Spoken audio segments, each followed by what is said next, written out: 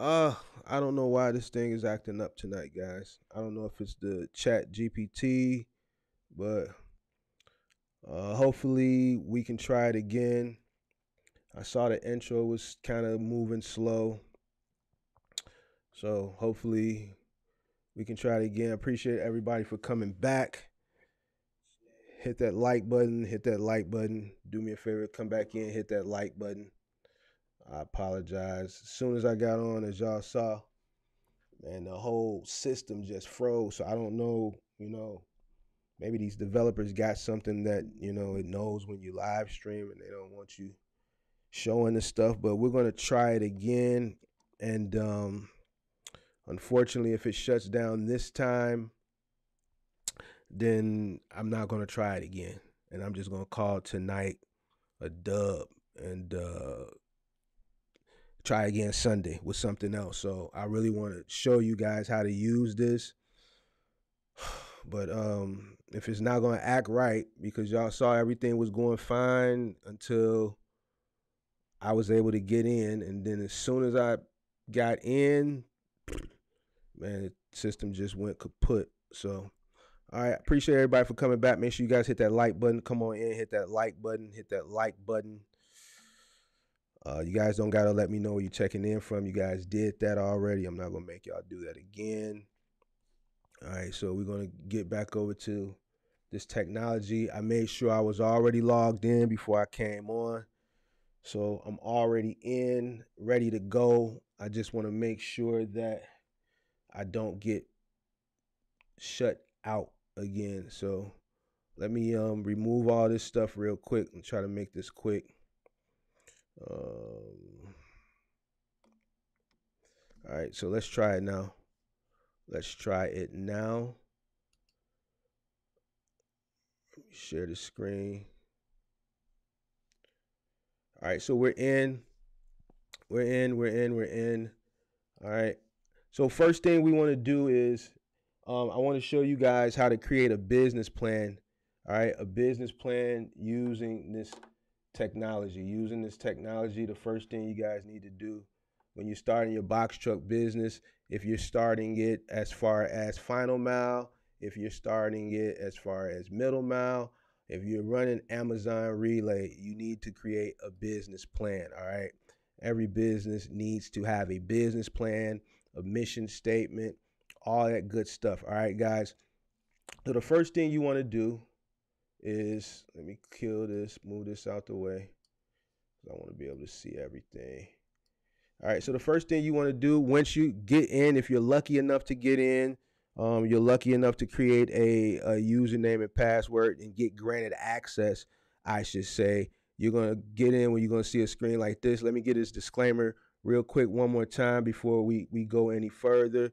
Um, this technology and future technology is going to be made to make life simpler for you. Don't become um, reliant on this type of technology or future technology that's going to be better than this because it's going to make you stupid. And when I say that, it means it, if you become so reliant on technology, you're still going to be faced with real world, real life situations, and you you will still need to think for yourself. All right, so don't become reliant on artificial intelligence technology and future technology um, become too reliant on it to the point where you're not able to think for yourself when real life real life situations occur. All right so with that being said this is just an aid. All right let's create a box truck business plan all right? So basically what i'm going to do is i'm going to simply put in here uh please create me a box truck business plan. All right, and then I'm going to hit enter. It's going to start generating. Here's a sample box truck business plan, and it's going to write it all out for you. It's going to write the plan out. It's going to um, outline it for you, and it's going to give you uh, verbiage text that you can utilize, right? Um, it's not plagiarism, as this is for artificial intelligence, but you do want to uh, put the words in, in you know take the context out and put fill your words in all right so it meets the needs of the scope of your particular um, business So this is an aid for a person, let's say, who didn't go to college. Not everyone went to college and doesn't know how to create or set up or outline a business plan. Right here, it's doing all the work for you. All right. As you see, it's giving you the service offerings, it's giving you the operation, it's giving you the financial plan, it's giving you the conclusion, it's outlining the the, the, the technology is going to outline it all for you. So let's let's start up here at the top. All right. So it's giving you a sample of a box truck business plan. All right. ABC delivery service is a new box truck. All right. Blah, blah, blah, blah. Pretty much your mission statement, right? It's giving you a market analysis. The delivery service market is growing, and there is a growing demand for reliable and efficient delivery services. The increasing trend of online shopping and home uh, home deliveries has increased the demand for delivery service. So all this information is giving you is current, right? It's current. The demand for reliable and efficient delivery service is there. There is an increasing trend of online shopping and home deliveries uh, has increased the demand of delivery service. All this is current information. Let's continue. Additionally, the growth of e-commerce. E-commerce has continued to grow, and the increasing number of small businesses in the region has also contributed to the growth of the market. Most markets are growing. ABC Delivery Service aims to capture a significant share of this market by providing quality services at competitive prices. Like I was saying in the first live stream before it got shut down, you know, a lot of people ask me about sourcing funding for their business, something that I'm totally against. And I tell people, look, no bank is going to give you money until you've been in business at least two years. All right. And then, even then, I still don't recommend it. But if you must go to a bank, all right, to borrow money, you're going to have to come with uh, uh, uh, paperwork, documents, a business plan, a P&L, all this information you're going to need. You're going to need to know how to set this up, outline it, and how to create this. If you've never been to school uh, to know how to set up a business plan, and this technology is going to aid and assist you. I'm not going to read through all this, but I want to show you the outline. It's going to give you the market analysis. It's going to give you the market strategy. It's going to outline it. ABC Delivery Service will utilize various market strategies to reach our target market and generate leads. This will include online marketing and social media platforms, networking, referral offerings. It's giving you the service offerings. It's giving you the operations all the way down to conclusions. Now let's get a little bit more technical with it. That was broad. All right, that was broad. Let's say uh create create me a final mile box truck business plan. Let's get a little bit more specific. Let's have a little fun. Let's get a little bit more specific. Here's a sample final mile box truck business plan. XYZ Final Mile Delivery is a new box truck delivery business that will provide final mile delivery service to business and individuals in the local area. Our goal is to become the leading provider of final mile delivery. Our experienced team drivers and delivery professionals will ensure that each delivery is carried out in a timely, professional manner, making sure that our clients' needs are met to their full satisfaction. It's going to give you that marketing analysis. It's going to give you the marketing strategy. All right. All right. So I got some things I put down here that I want to show you guys that it can also do a little bit more specific. Now, each time you input information, it may give you different information than it gave you the last time. So sometimes you may have to input information a little bit more specific and it will give you more specific inf information as you utilize the technology it's learning it's learning you know it's learning what you search right it's learning the type of stuff that you you you put in all the time it's learning uh, uh, uh, you know, uh, the the array of things that you are utilizing the technology for. It's utilizing it. The more you utilize it, the smarter it gets. So let's take a look at this. Let's create a PL sheet.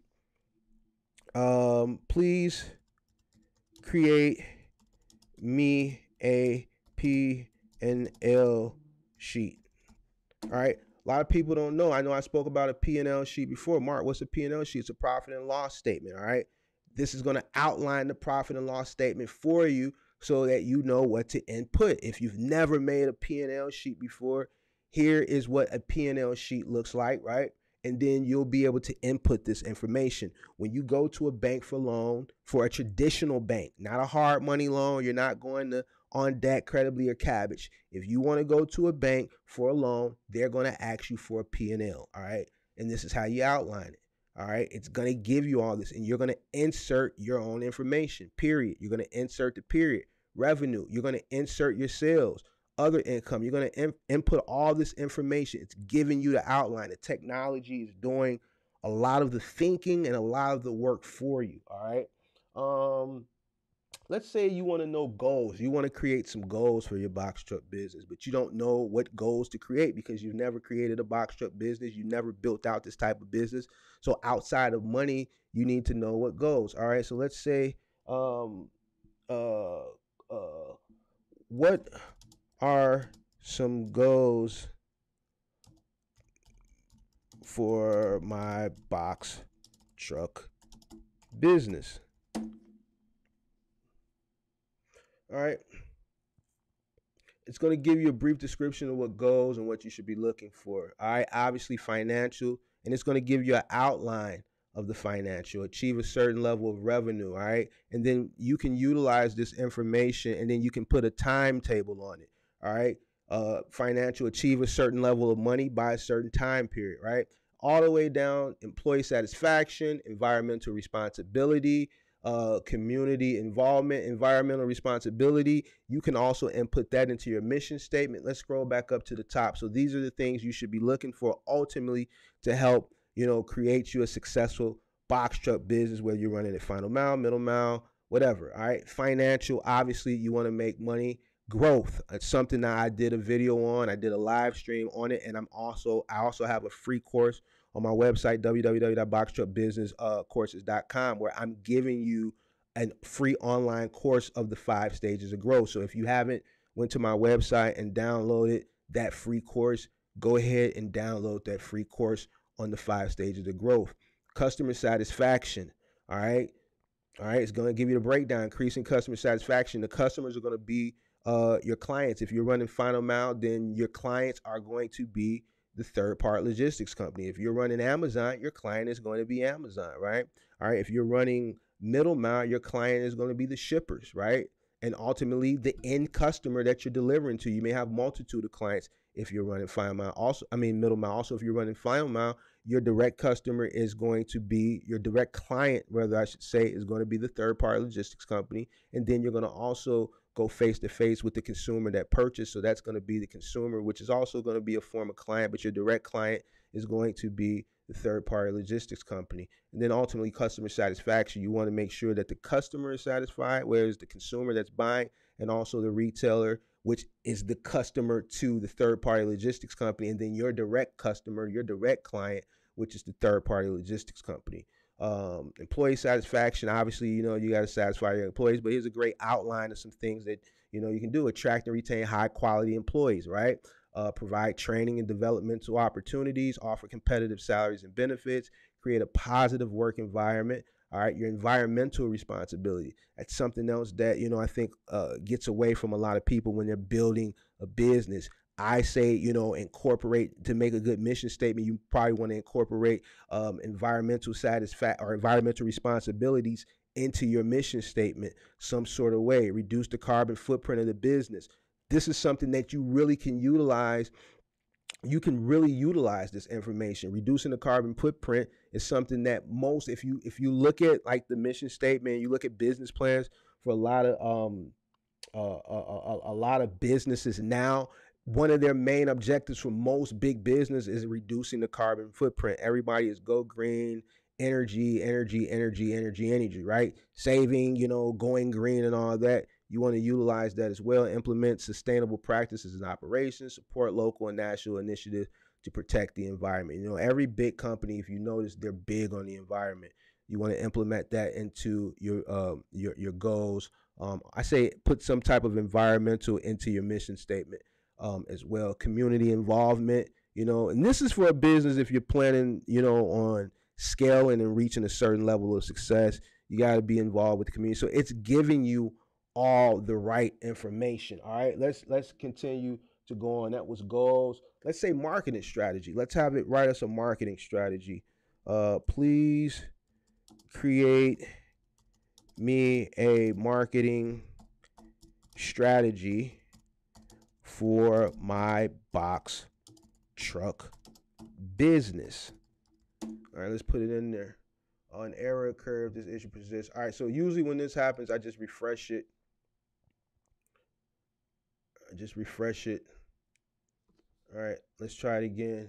We're experiencing exceptionally high demand. Please hang tight as we work. So let me hurry up and try to get through this, guys, before it boots me out and doing all this stuff again. All right, please create me a marketing strategy for my box truck business.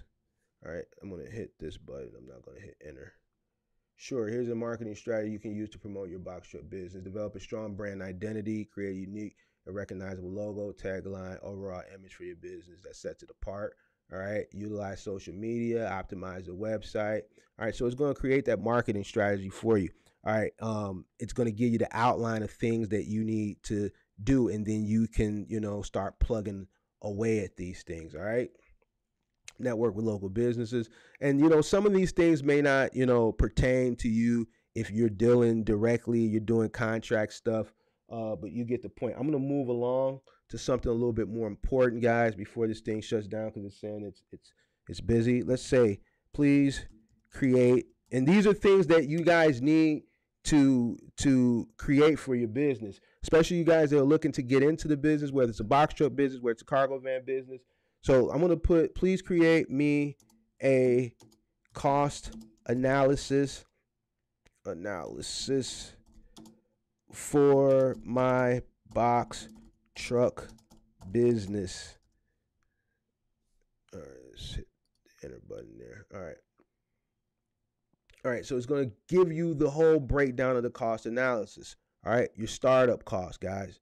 Very important. These are the one-time costs incurred when starting the business, including the cost of the box truck, box trucks, insurance, licenses, permits, and any legal accounting fees. Your operating expenses, right? Your marketing and advertising costs, um, if that's something that you need to do. Equipment and supplies, uh, rent or lease costs, right? Which would be, and most of you guys aren't going to have warehouse or anything, so that would like equate to like your parking if needed. Um, miscellaneous expenses would be variable costs, and then it's going to give you an example cost analysis, right? Box truck 50,000, insurance 5,000, licensing and permits, legal and accounting fees, total startup costs, right? Operating expenses, marketing and advertising. It's breaking it down, All right. It's breaking it down, and you got guys are, you know, you can utilize these templates, you know, for your business. A lot of people like over the past year 2020 2021 if this was around it would have curved some of that margin of error that a lot of people went through with fake gurus and you know um, um, you know buying into people that they thought had their best interest um, uh, uh, buying those expensive mentorships buying those expensive courses like this kills all of that because you're still going to have to do your work. It's going to give you a template and outline, and it's also going to tell you what you need to do to start building your business. Now, I'm not saying that a, a good mentor, yeah, you're going to, some people are going to need someone that has been through it, that's tenured to kind of walk them through it. The AI isn't going to give you real life situation. It's smart, but it's not that smart. It's not going to tell you what Mark tells you, like, look, okay, this is how you do final this is how you get into it. But guess what? You're gonna make this type of money, but guess what? Claims, you know, the the the the the the the the, the um the percentage of claims is, you know, it's there. It's a high risk of getting the claims. You know, it's a risky business because there's a lot of liability, I should say, at stake. You got the liability of the merchandise and you got the liability because you're going into multiple people's homes throughout the day. This technology isn't going to give you those real life scenarios and warn you on those types of real life scenarios. So it's not that smart to to that you know point yet. All right, so you know, but for the basic stuff that most people were spending thousands and thousands and thousands and thousands of dollars on, you can get it right here if you're lucky enough to to to get into this right now and even when you get in if you're lucky enough during that time of day where you can get in and input this information to get information out of it it's going to kill a lot of that margin of error that a lot of people went through, right? And it's going to kill that need for uh, uh, uh, uh, uh, uh, well, some need, I should say. It's not going to kill it all for like mentorship and things of that nature. A lot of the basic stuff you will be able to utilize on your own. The only reason you only reason you should have to go to a person for mentorship or consultation is really for strategy. All right, strategy that is beyond the scope of the technology. All right, at this point, and I have you guys' best interest. I'm telling you this information. I'm telling you to go and and seek this information. And if you haven't gotten in to use this technology, keep trying to you get into at least get your email in and register because it does keep your IP so it knows if you're in there and worst case scenario the servers are busy and it'll make you wait. But make sure when it's open back up for registration you register and you get in there to utilize this technology because they kept upgrading they keep upgrading and they keep upgrading. It keeps getting smarter and smarter and smarter. All right let's move on. Let's move on. Let's let's create a mission statement now for a cargo van business. Let's step away from box truck. Let's say please create me a mission statement for a cargo van business. All right, let's create a mission statement for a cargo van business. All right, boom. Here's a sample mission statement for a cargo van business. Our mission is to provide reliable and efficient delivery service for businesses and individuals. We are committed to delivering cargo with care and ensuring that every shipment arrives at its destination on time and in good condition. Our goal is to build strong relationships with our customers and to be go-to choice for their delivery needs with with our experience and knowledge, knowledgeable team, state-of-the-art vehicles, and commitment to customer satisfaction, we strive to be a leader in the cargo van industry. See how great of a, a, mission statement that is? You don't have to think and put words together and make it sound cool and figure it out. It's going to give it to you. All right. It's going to give you the information. All right. I like that one. I'm going to give that one the thumbs up. I don't want to submit any feedback. All right, thumbs up though. All right, so let's move on. Let's move on. Uh, let's do a case study. Please, let's just say create. Make me a case study for uh, a box truck business. All right, let's see what it does here. All right, here's a sample case study for a box truck business. And then it's going to outline a case study. All right. And it's just going to outline it for you. You can utilize some of the verbiage. You can change some of the verbiage into uh, your own words to meet the needs of the goals of your particular box truck or cargo van business. All right. There's people out there that charge people to do this. All right. So like things like this that I'm telling you, like the business plan, the market analysis, the cost analysis, your case study, your mission statement, all that, man. If you want a grant, look, check this out. Let's see if this works. Please write me a grant proposal for a future box truck business. Say you want to write a grant, you need a grant written because you want to source some funding. You don't have the money to start your business, so you want to try to get like a government grant. Here's a sample grant for a future box truck business. It's going to write the grant for you. It's going to write the grant proposal. Listen, there's people that write grant proposals for a living. This technology is doing it for you. You don't have to pay, and it's free technology. You're just going to basically take out ABC box truck services and input your own information. It's going to write it all. It's going to write it for you. The introduction, the objective, the business plan, right? The market analysis. All right. You see where it puts the delivery service market in and then city state. You're going to fill in your city state. Your budget. You're going to put this information in. You're going to change that 100,000 to 50,000. All right. Your license permit, your operating. All right. You're going to input all this information uh, as it meets the needs of the particular business that you're trying to start. All right. Uh, and it's going to all go all the way down to the conclusion. So it's going to write you a proposal.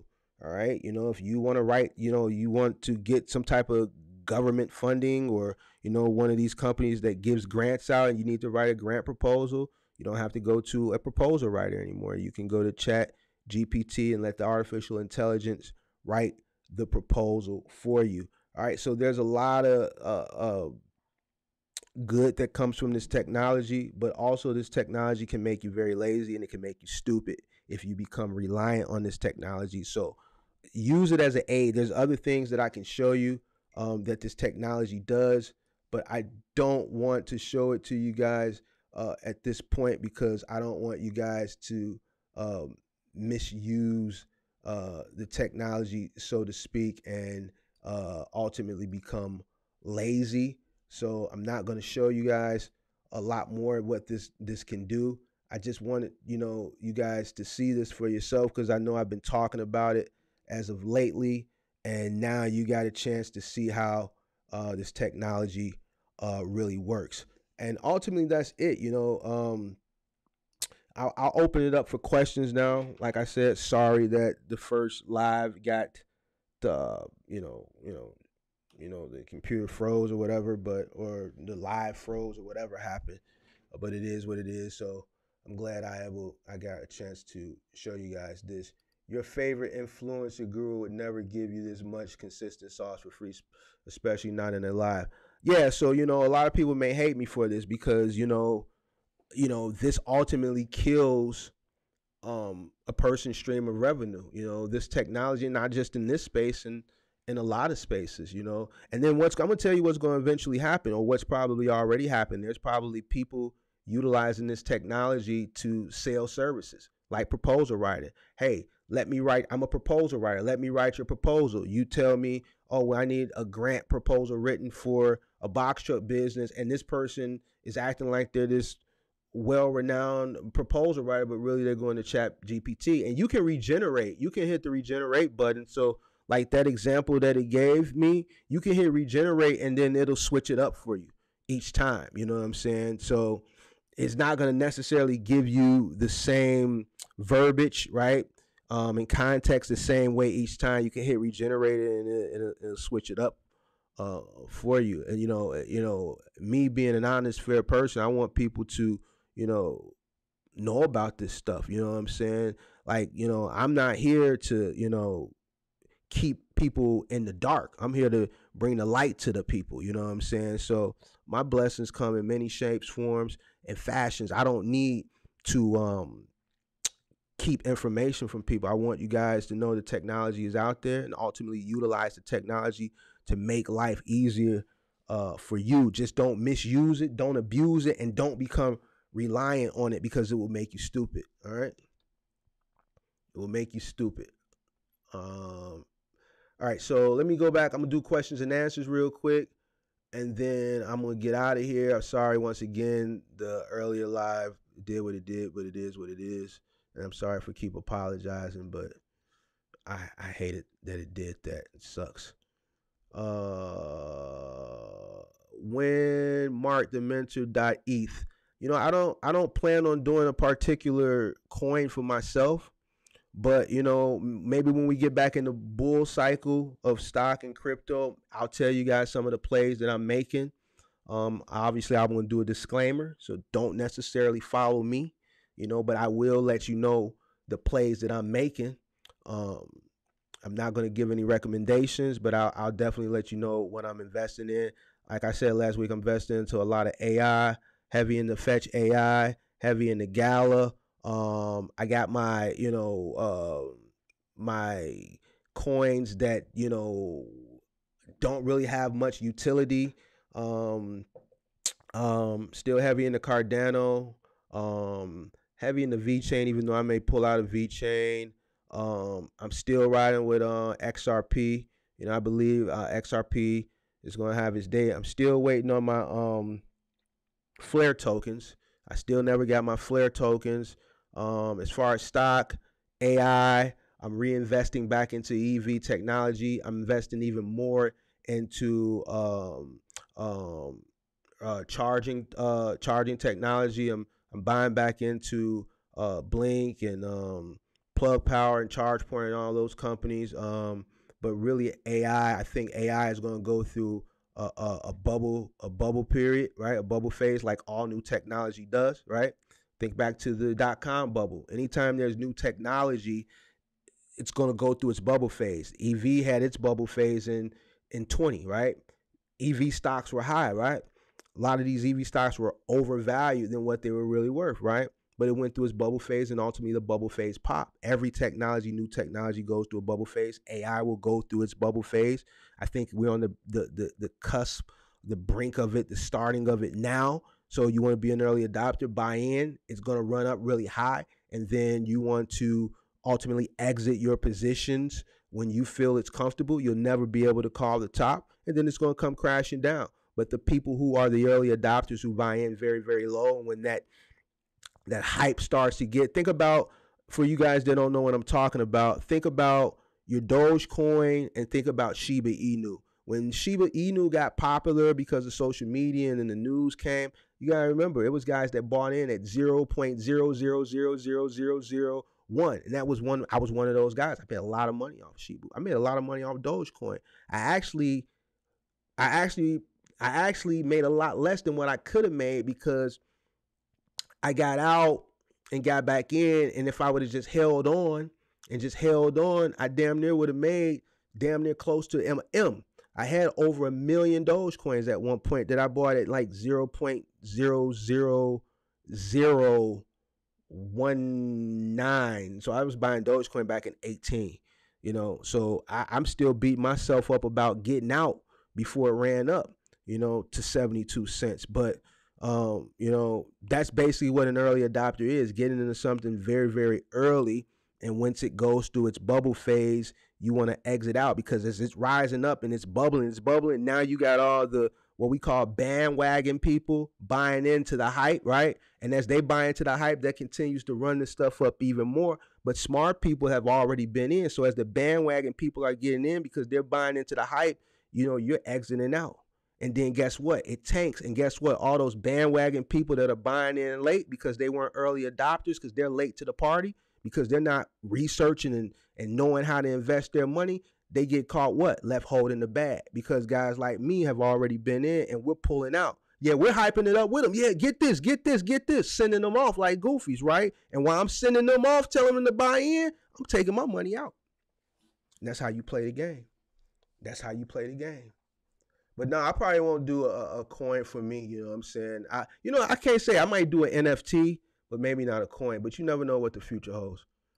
Uh, your favorite influencer guru would never. Yeah, I think I answered that. Yeah, a lot of people ain't gonna give you the sauce. What technology is this, Mark? This is Chat GPT. Chat GPT. Make sure you get in if you can get in. Uh, you thought about using it to make money? You can use it to make money. Hey, Mark, how can I get started in touch with you if I don't have social media? I actually started using this AI chat yesterday to help me start my box truck business. Good. Congratulations for utilizing it um, to help, you know, set up and walk you through and outline, you know, your, your business plan and all that. Um, if you don't have uh, social media, you can just go to my website, uh, www.boxtruckcourses.com, or you can email me at mark at thementormark.com. That's mark at thementormark.com. All right. After making a request, can you print it straight from Chat GPT or just copy and paste? Copy and paste. Copy and paste. Not for real. That's real. You're genuine for real, bro. Rocking with you 100%. Trey Hicks, I appreciate you, man. Thank you for coming in live. Oh, you saying ETH uh, as far as a domain? I, I got my domain, but I don't have a dot ETH domain. I got a dot .com. I didn't know you could. Well, you know, I did see a dot ETH domain, but that's pretty much for if you are running like some type of uh like some type of Ethereum Ethereum program, right? Or I could be wrong. I'm not sure. Put me on. Oh yeah, yeah, yeah, yeah. Send crypto to it. Oh, so like a crypto uh, uh domain wallet. You know, it's a good idea. I may have um I may have um I may have someone looking to maybe possibly billing me that. That's a good idea. Appreciate it. It's a good idea. Uh, I didn't get any tokens. Did anyone did did anyone get them? I didn't get any tokens either. Either. What tokens you talking about, Pippi? All right, guys, hit that like button. Hit that like button, guys. Um, any questions? Any questions? I hope you guys get a chance to u- utilize that technology. Um, Hit that like button. Any questions, guys? Any questions on tonight? Oh yeah, I didn't get the flare tokens either. You know what? My homie got his flare tokens um because he he uh he had transferred before uh Coinbase uh suspended XRP from Coinbase. Um he had transferred all his his XRP over to Uphold. And Uphold released them. They released Songbird and they released Flare. I kept mine on the exchange. And ultimately, uh, Coinbase had the option to either distribute or hold on to them for themselves. They don't. They didn't necessarily have to distribute them. So they haven't said anything. A lot of people have been tweeting them and trying to get a response from them. They haven't responded.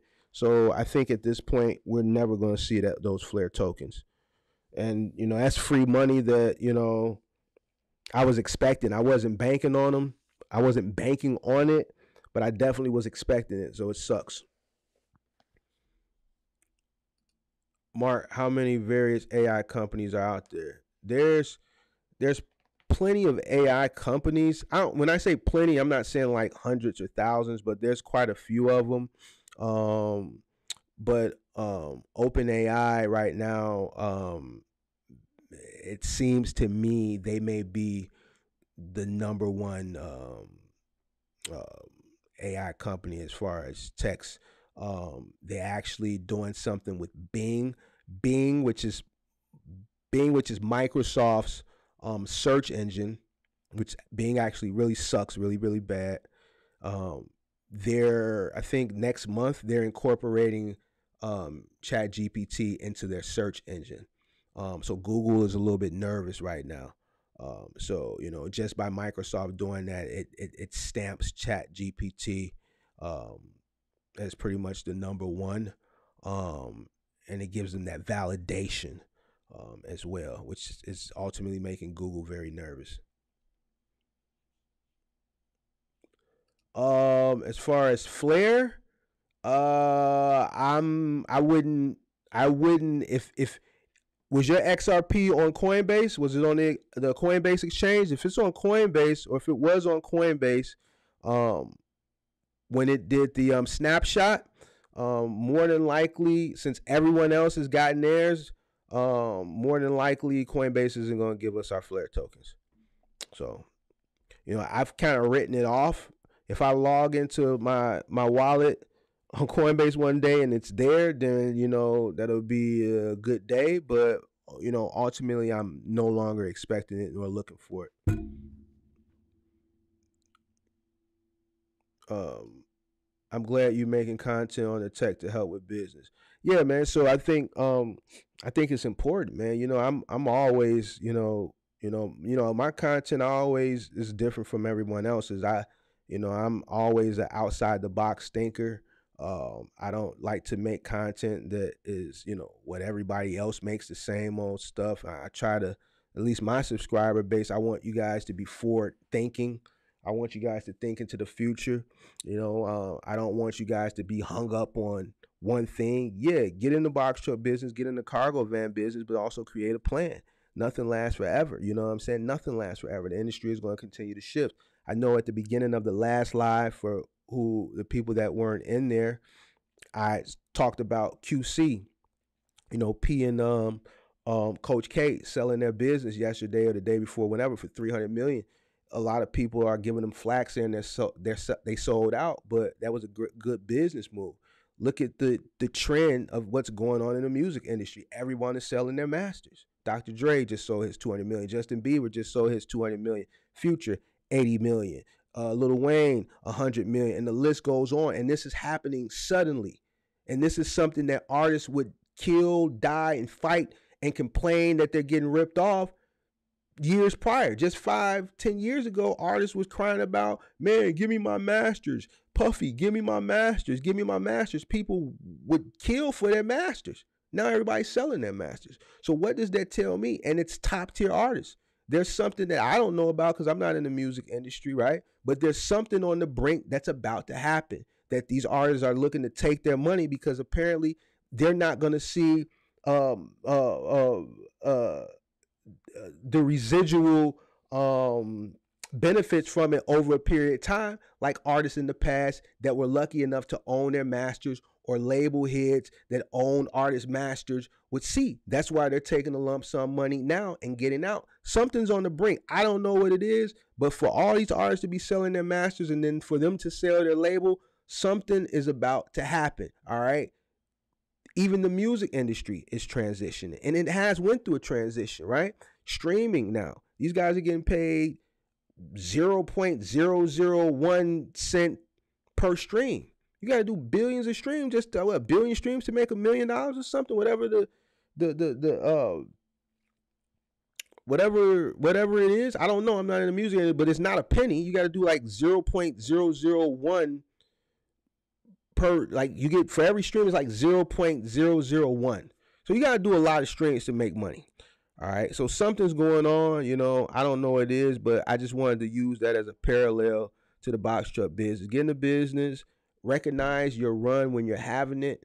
And then, you know, this may not be a business that you can sell, but assets are going up. You know, you may be able to sell off your assets for a profit and then exit and take that money and then transition. Don't get left holding the bag, right?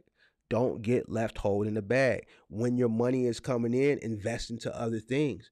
Don't do goofball stuff with your money so that if like the industry does transition and then like damn you're not making the money that you once were but you know a bunch of bread came through your fingertips right and you didn't utilize that money and reinvest that money into other things when you had the chance now you don't have it to reinvest and the business is not doing well because the landscape of the industry has shifted all right you want to see when you're having your run and you want to take that money and invest into other opportunities. It could be anything. It could be real estate. It could be stocks. It could be crypto.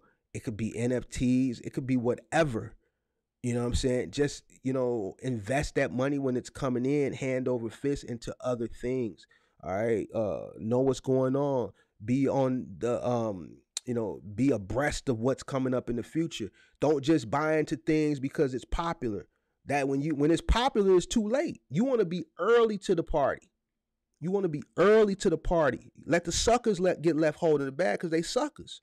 I was once a sucker all right i don't i know not to how to be a sucker and that's why i'm teaching y'all to be a sucker. Look ai is going to be the next bubble all right and technology so all your ai stocks all your ai crypto are going to go through a bubble phase and when it gets popular, you see it on the news how all these AI companies are just uh, are, are, are valued at these high dollar amounts, which is going to be overvalued. And everybody that doesn't know about stock or everybody doesn't know about crypto start running the Robinhood, start running the Coinbase like they did with the Shiba Inu, buying in, buying in, buying in, right? During the phase, which is the bubble phase, right? During the hype, thinking they finna make a bunch of money. Guys like me that's been in, been sitting in for a couple years waiting because we bought in early. We pulling out. We telling them, yeah, buy in.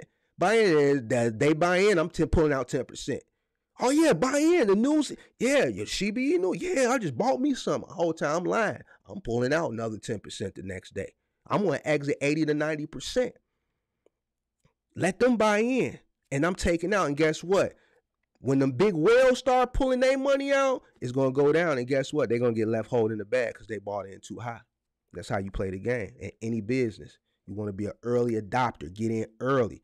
This box truck thing I've been in since 2010. I was in early. It was the wild, wild west. I was naming my prices back then. It's not the wild, wild mess anymore, right? These third party logistics companies, they understand it. They really were learning the industry when I was getting in back then. I talked to three. Um, I talked to the vice, couple vice pre. I talked to two vice presidents of one company earlier this week. I talked to some corporate people from another logistics company earlier this week, and I talked to some corporate people. I ain't gonna tell you the companies, but I'll tell you this company. I talked to some corporate people at RXO. These companies are hitting me up to consult them.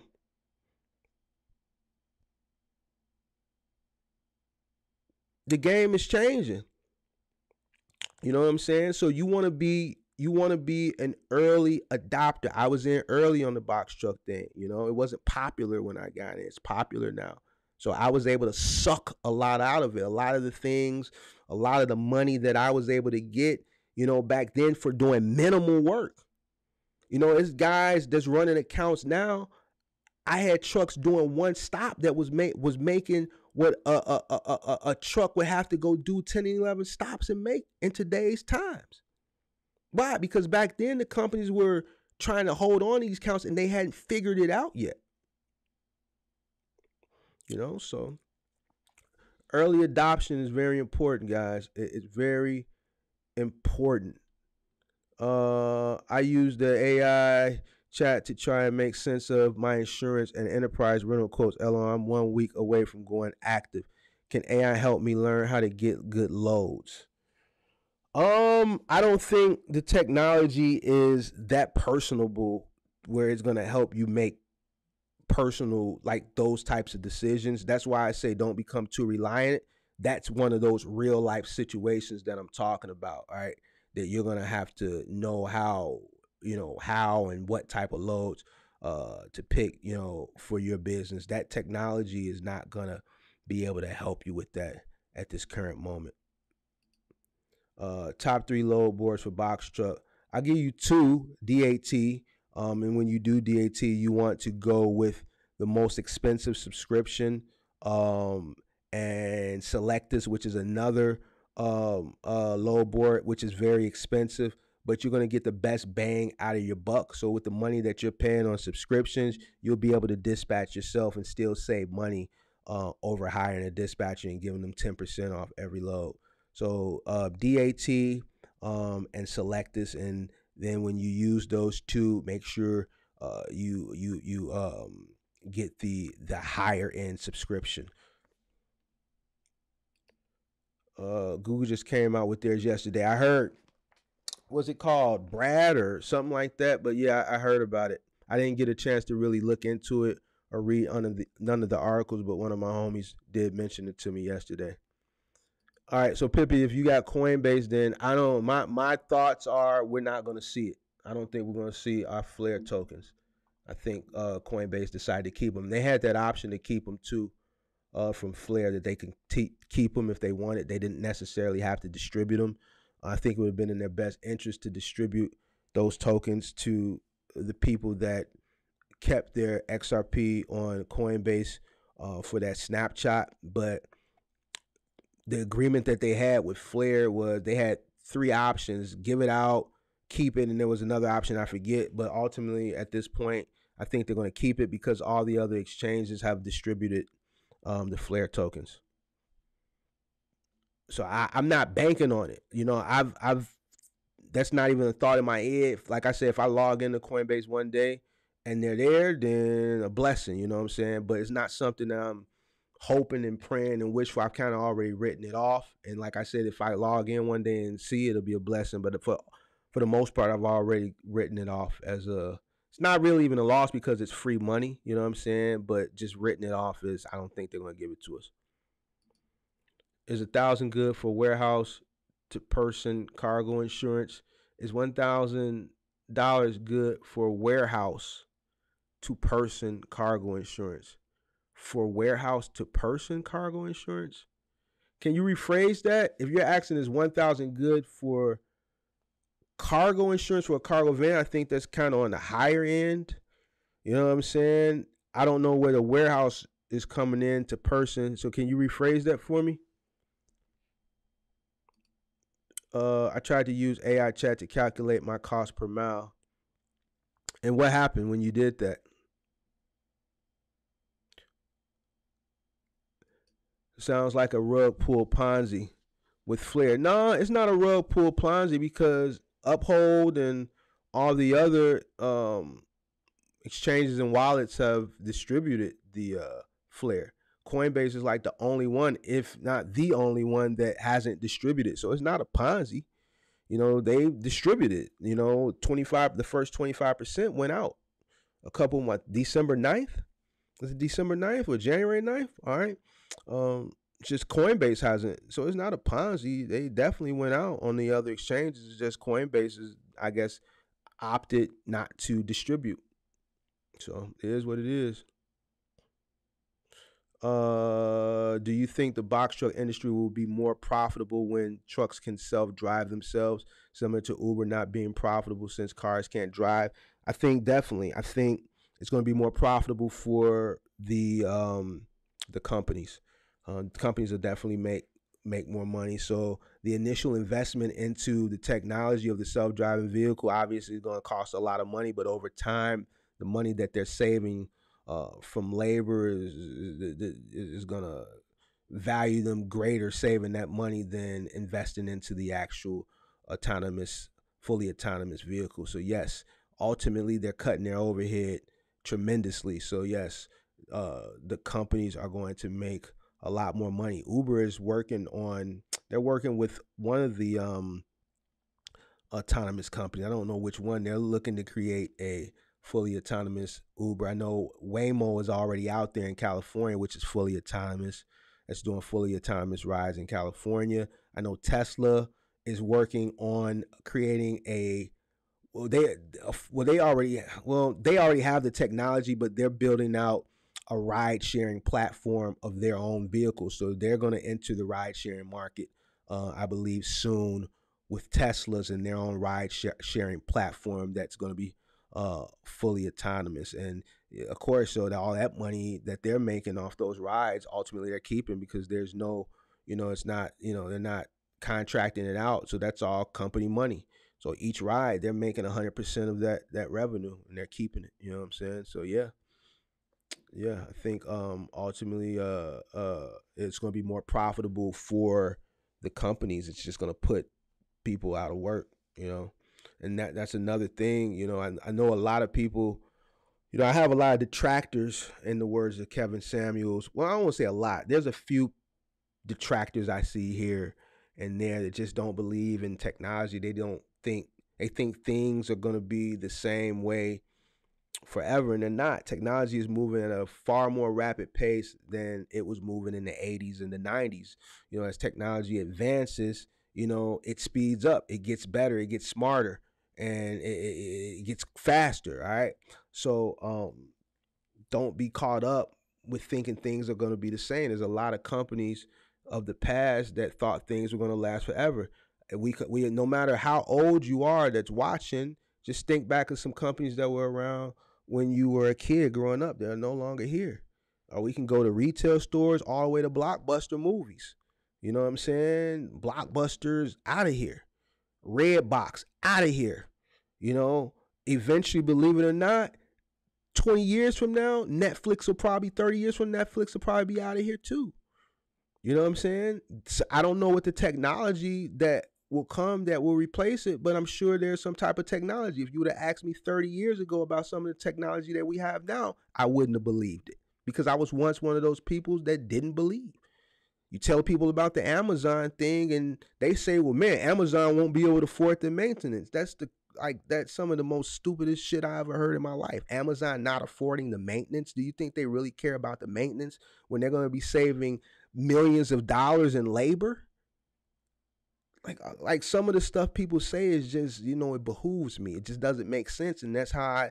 I, I, I, determine if a person is a real business person or not when they make silly and stupid comments like Amazon won't won't want to pay the maintenance on their own truck. It's stupid. You know what I'm saying? So, you know, don't be caught up in and and and and and and and and, and getting left behind. And like we say, and, and invest in get left holding the bag because a lot of people to get left holding the bag in the future. So yeah, the companies are going to be way more profitable than they are now once they remove the human element and are making 100% of the revenue. Uh, any good box truck loan or leasing companies? Box truck loan? Uh, as far as financing, I'm not sure, man. You know, I can't say I've worked with anybody all my used box trucks, I bought them from the dealer cash. You know, bought them outright. Um, and then like I said, the one new box truck I bought, bought one new and one cargo van, and I bought those from a dealer. So when I bought those two vehicles, one was financed through Wells Fargo and one was financed through Ally.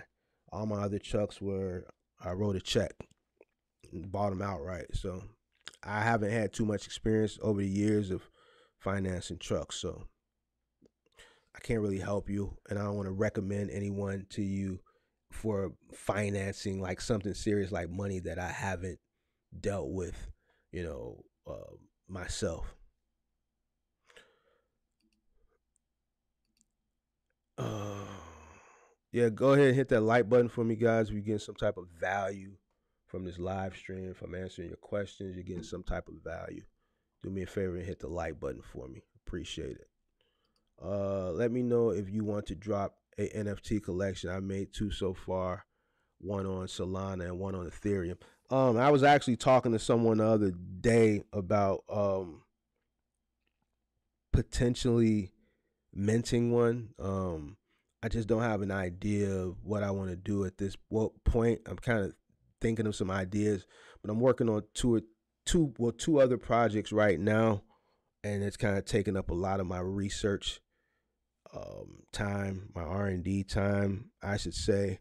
But uh, creating an NFT is something I do want to do. I do got some cool ideas.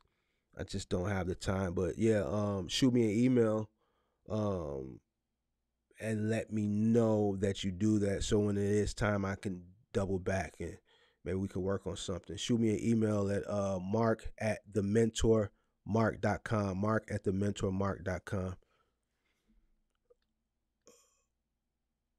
Uh, speaking of early adopters, completely different arena. What do you think about boxable manufactured homes? I think they are trying to disrupt the housing market. Are those the houses um boxable manufactured homes? Hold on, before I say what I think it is, let me look it up to make sure. Boxable houses. Let me look, make sure. Is Rihanna Rihanna's doing the halftime show at the Super Bowl? Oh, and while I'm looking this up, Sundays live um um is going to be earlier. I'm not going to compete with the Super Bowl, so I'm not coming on Sunday at eight o'clock. I'll probably come on early. Well, I will come on early in the day. I'm just not going to X Sunday out. I'll be on probably sometime around twelve or one or two, sometime between twelve and two um, and then I'll do a two hour show and and I'll be out of here. I'm not going to compete with the Super Bowl, and I'm not going to leave people hanging. So I'll just come on earlier that day. If you can't come in earlier, I don't care if it's one person here. I just talk to myself, and then when you guys want to catch the replay, you can catch it. So um, I, I'm coming on early Sunday because I won't. I'm not going to be watching the Super Bowl. I really don't care, but I'm not going to compete with it. That's the most watched show in TV. So uh, let me see. Boxable Home. Let me see what this is. Okay, so yeah, I have I have seen this before. Um what do I think about this? Um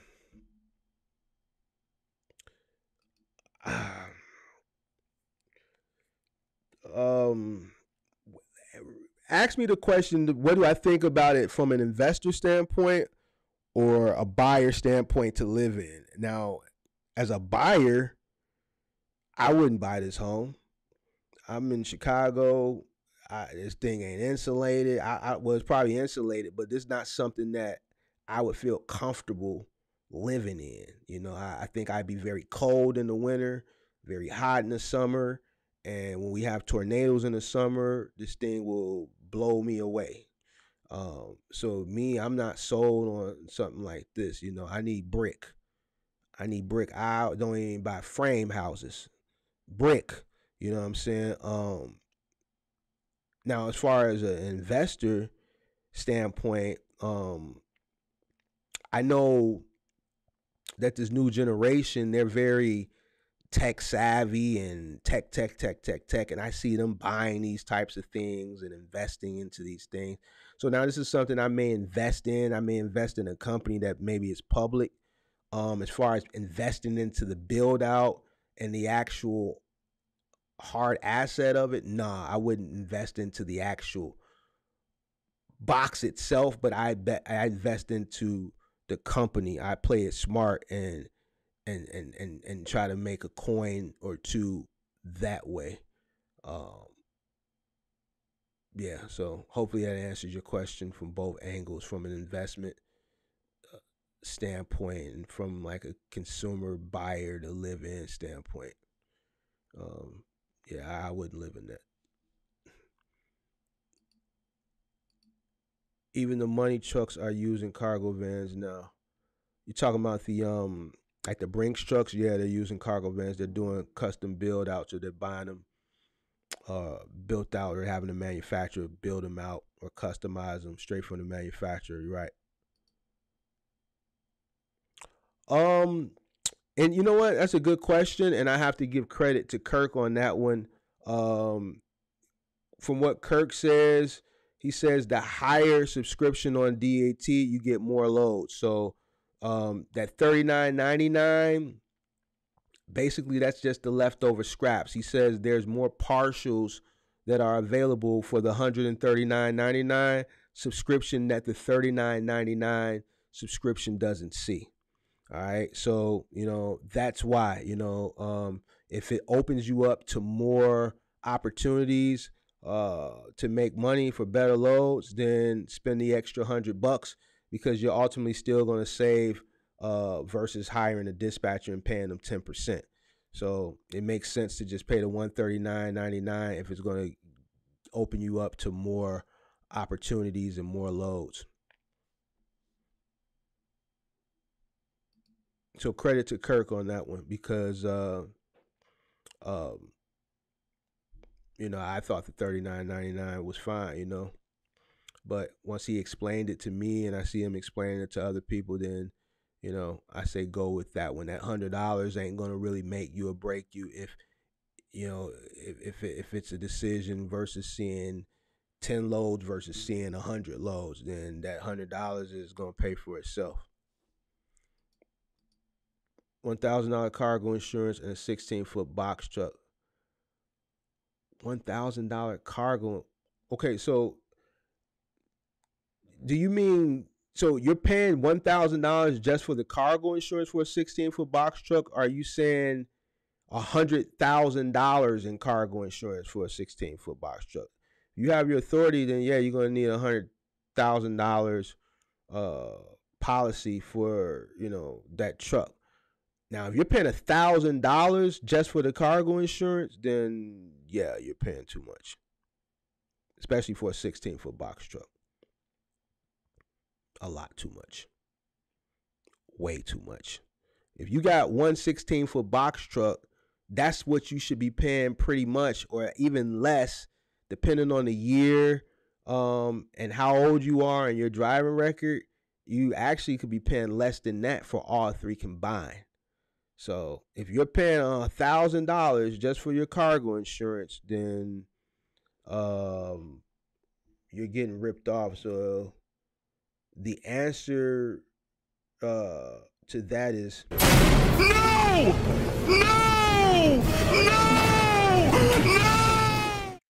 Uh, for cost per mile, AI broke it down to divide the operational cost by the miles driven. That's correct.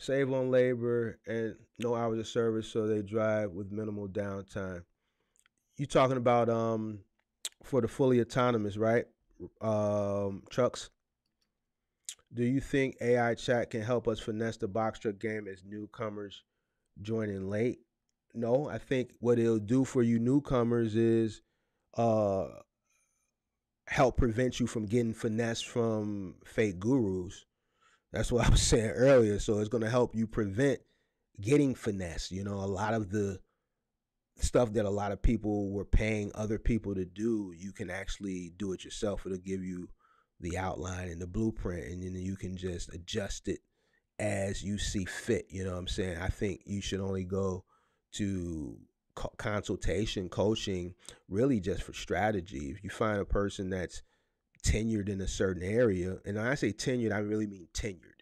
All right, um, uh, for strategy in real life scenario situations, but basic stuff that people were paying these courses and stuff for, and like no, Chat GPT, um, AI technology will provide you all that information. Just type in what you need it to give you, and it'll spit it back out at you.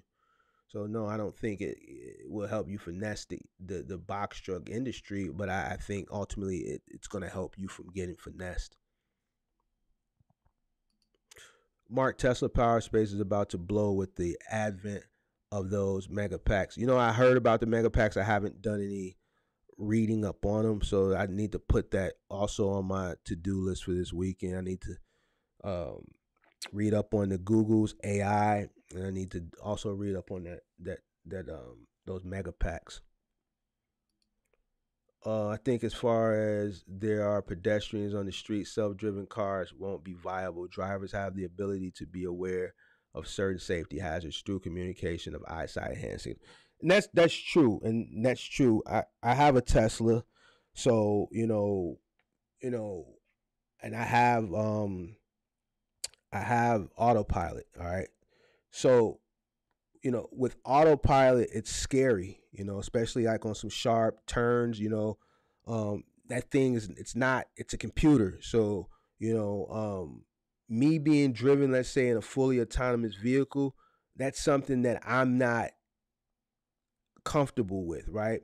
And what you're saying is drivers have the ability to be aware of certain safety hazards through communication. I see that a lot with with with um um the autopilot feature, right? So like if I'm driving, let's say and it's an autopilot and it comes up on a turn, let's say like a sharp turn, it's not like the human like you're driving, you're coming up on a sharp turn, you see that turn, you're preparing for that turn, you're actually already turning into that turn a lot sooner than the computer. That computer turns like real precisely to the point where it's driving, the car is driving, it's driving, it's driving. You think it's gonna drive into the wall or drive off the road, and then it just turns sharp. It does it real sharp, precisely at the last minute because it's a computer. It doesn't have that human scare element there you know, where you're turning earlier than the computer. The computer is turning at the perfect time, so it's very sharp and brisk and scary.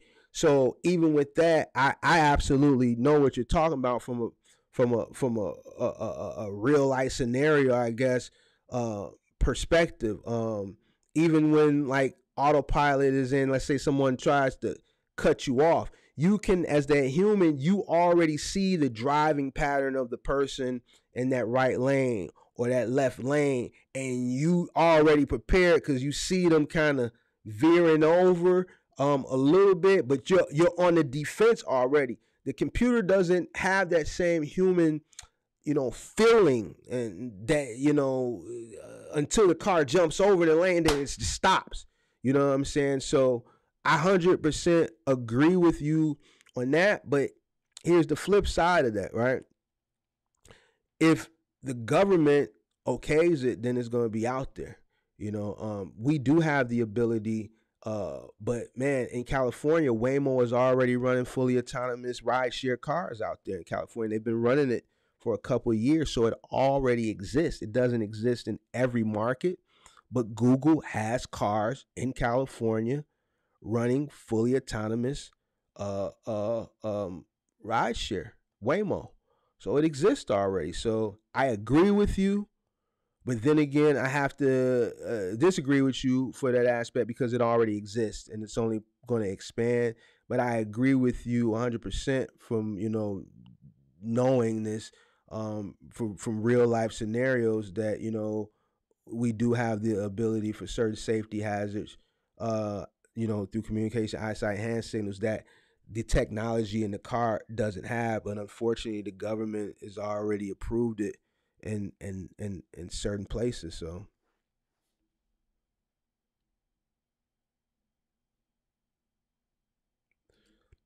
Yeah, I would invest in it. I would invest into the tech, the the the the actual business model. I think it's something that's probably going to get popular, um, whether it succeeds or fails, just the hype around it, you know, and then as it grows in popularity is when I'll be exiting. It's definitely a short term play, uh, definitely not a long term play.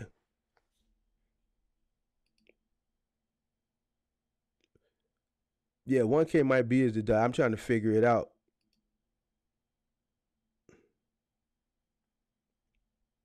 One hundred is a dozen eggs these days.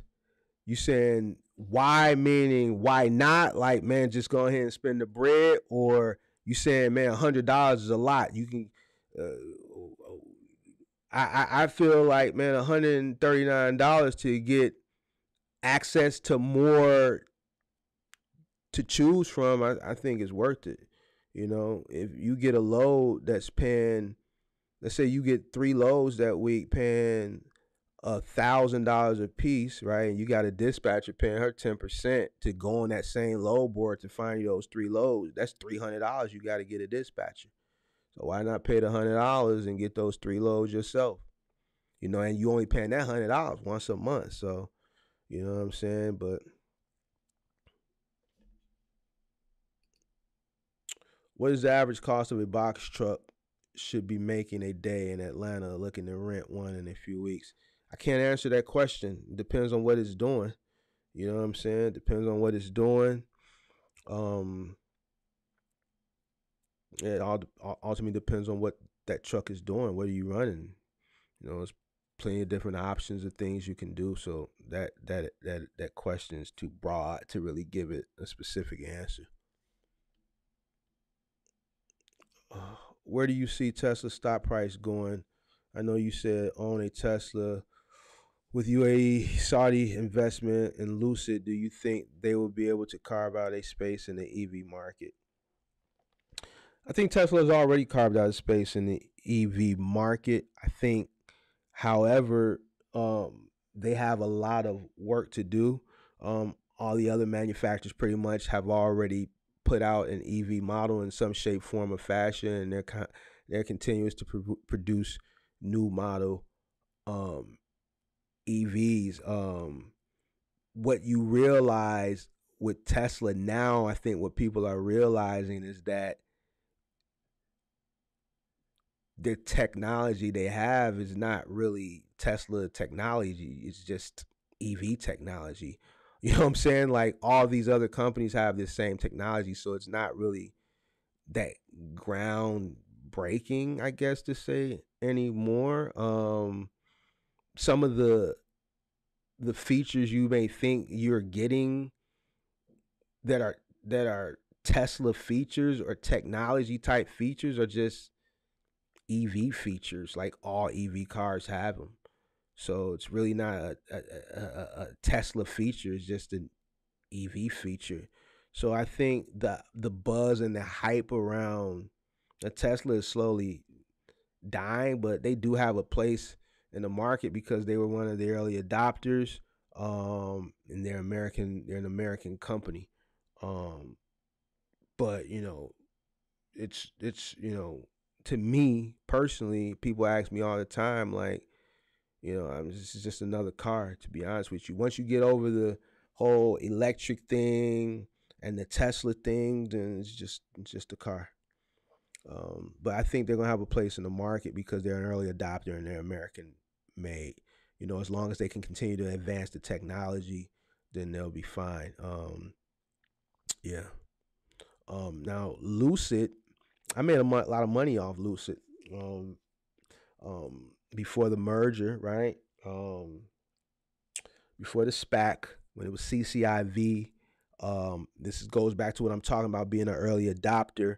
In 2020, electric cars were going through their bubble phase, right? Um, I bought an CCIV, which we know is Lucid, at $18 and some change. All right. I sold at 60, and 60 um, was the top, you know. I learned from Workhorse that hey, whenever there's going to be a SPAC merger announced the next day or it's possible SPAC merger, smart money, we call it smart money, start exiting out. Oh yeah, there's going they're going to announce a merger Monday and it's going to go to 100. You know, I fell for that once or twice, then fall for it again. I got out. If it goes to 100, you know what? Okay. But guess what? I bought in at 18. I sold at 60. I still made money. All right. Greedy pigs get led to the slaughter. All right. So, you know, I was able to pull out at the top. Um, so I, I, I can't say nothing bad about Lucid. I made a lot of money off of Lucid in 2020. So um yeah.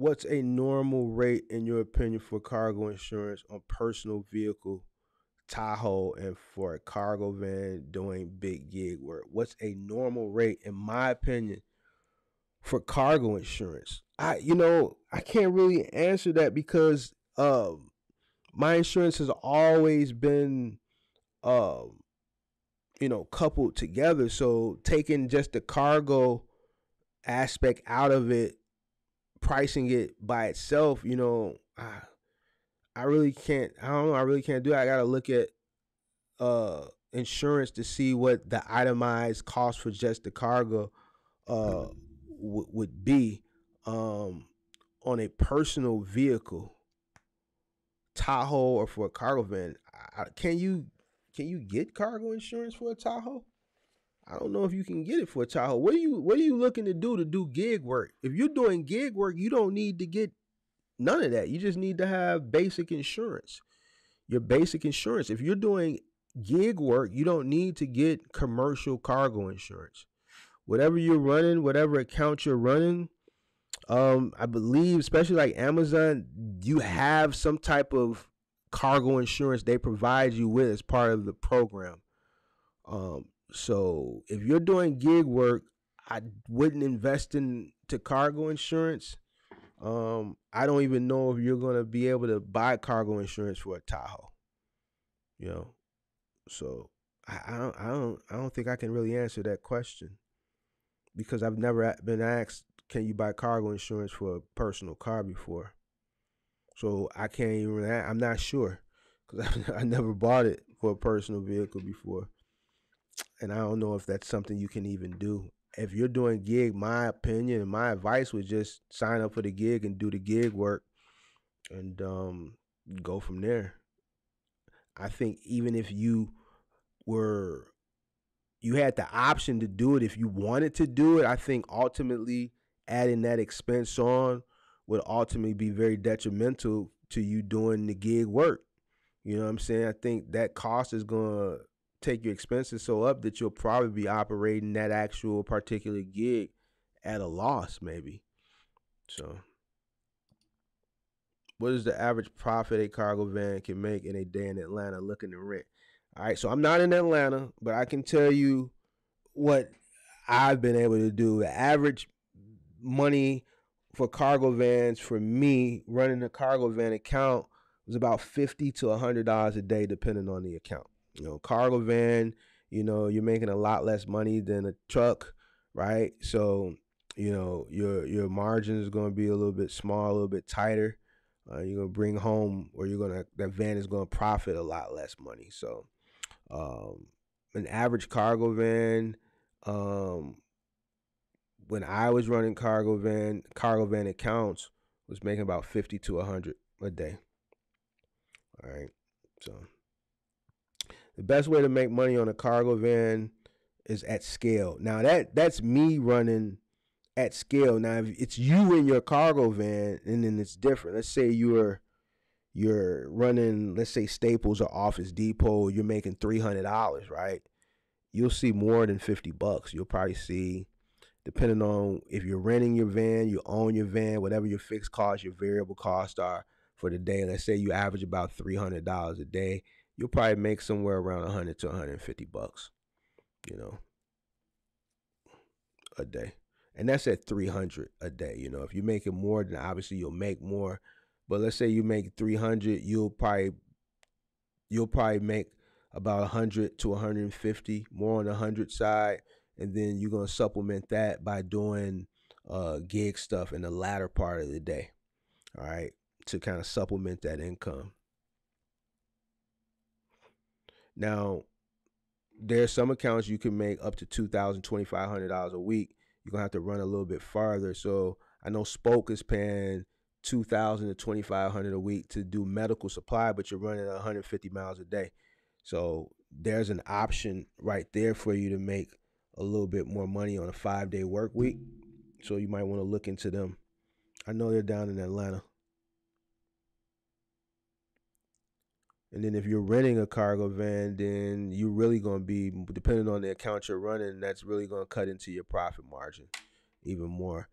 Um, so just make sure when you go out to rent a cargo van, you really sign up with a company that's you're getting the best bang for your buck. Don't be renting a cargo van paying box truck prices. Don't be paying no five, six hundred, four, five hundred dollars a week for no cargo van.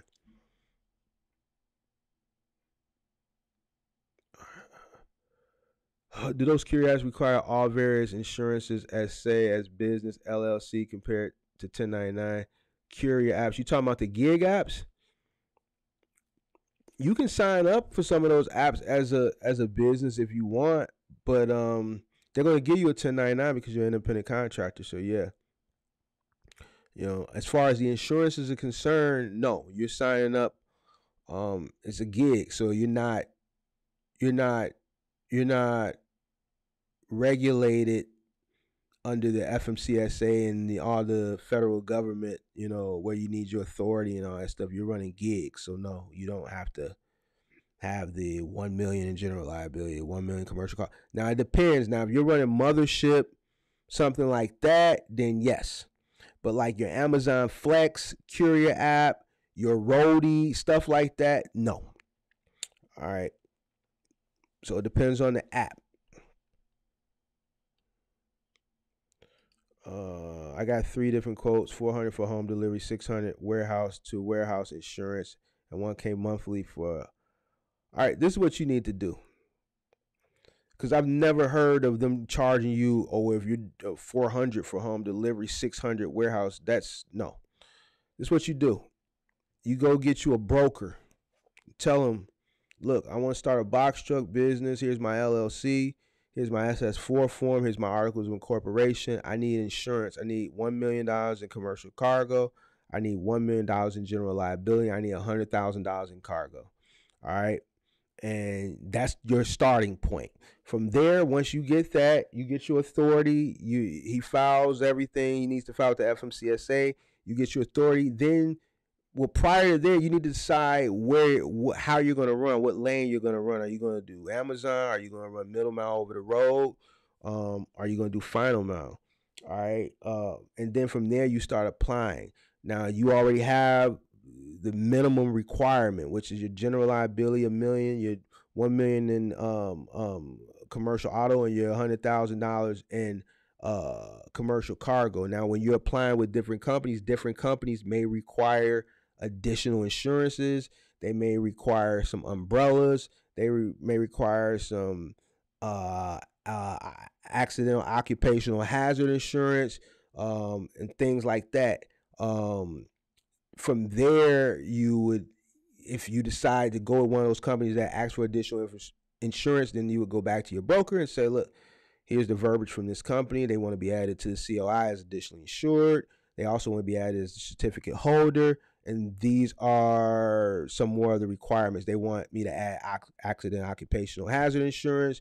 They want me to add hundred thousand dollars worth of workers comp, and they want a four million dollar umbrella. And then they're going to say, okay, it's going to be this much more. They're going to add it if you want to do it, and then you present this back to the company. Um, so this stuff right here, I, I don't know. You know, find you a broker. Tell them you need the minimum a million dollars in liability, a million dollars in commercial auto, a hundred thousand dollars in cargo. Start there, start applying, right? And then from there, go from there because a lot of companies that may be all you need. All right.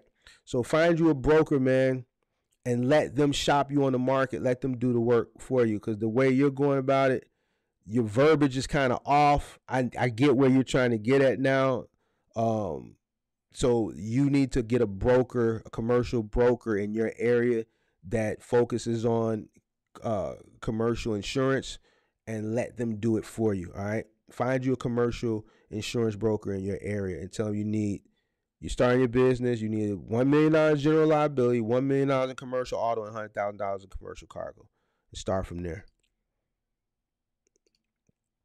Should newcomers be scared of going through with their business during the vetting process if they have enough capital to get started? I wouldn't be scared. You know, I mean, there's going to be some fear with starting a new business, fear of failing, fear of losing your money, but um, I think you should go through with it. You know, um, just make sure you have a strong business plan. You've done a lot of research a lot of due uh, due diligence, and make sure you keep your costs down as low as possible. Enter into the industry with as low as of overhead as possible. Um, like I always reiterate, you know, the margins in this business are very, very low. Um, you know, they're very, very low. Very, very, very, very low. You had a guy just ask me a few minutes ago about cargo van. You know, I was making fifty to hundred dollars a day running Office Depot with three cargo vans, and I was running six trucks, six trucks and three cargo vans. And my cargo vans, I was making the least amount of money, but you know, it still added up. It was fifty more per cargo van than what I had prior to those guys going out and doing that work for me. All right, so you know, it um, it is what it is. This industry is very low margin. So make sure you have a solid plan coming in, a Trump type plan. And you know, there's going to be that fear of starting a new business of and the fear of uncertainty of not knowing what to expect. But um go through with it and just, you know, you know, give it your all, man. You know, if you fail, you know, just get up and try again. Except the next time, just you know, learn from your mistakes and and go even harder. If you got just enough capital where you don't have three to six months, let's say, of cash flow to float you through that learning curve, then you know you got a decision to make. Do you want to do you want to start your business with just enough money and if you run into an unforeseen situation very early on and you know you're not going to have the money because you just got enough, then that's a decision that you got to take. And that's a risk that you got to take. Or you can hold off a little while while you save up more capital to make sure you have some working capital when you get into the business. Me, I would take the latter decision. I would wait a while, build up my money so that I have enough working capital all right because you don't know what to expect. You can get into the business in the first week. You could have a breakdown. Anything could happen. You could have a claim whatever something let's say. Your tire could blow out whatever you know. You need to have working capital all right um, for your business. If you don't have working capital then i would hold off until you have enough working capital to float you through that learning curve at least three or six months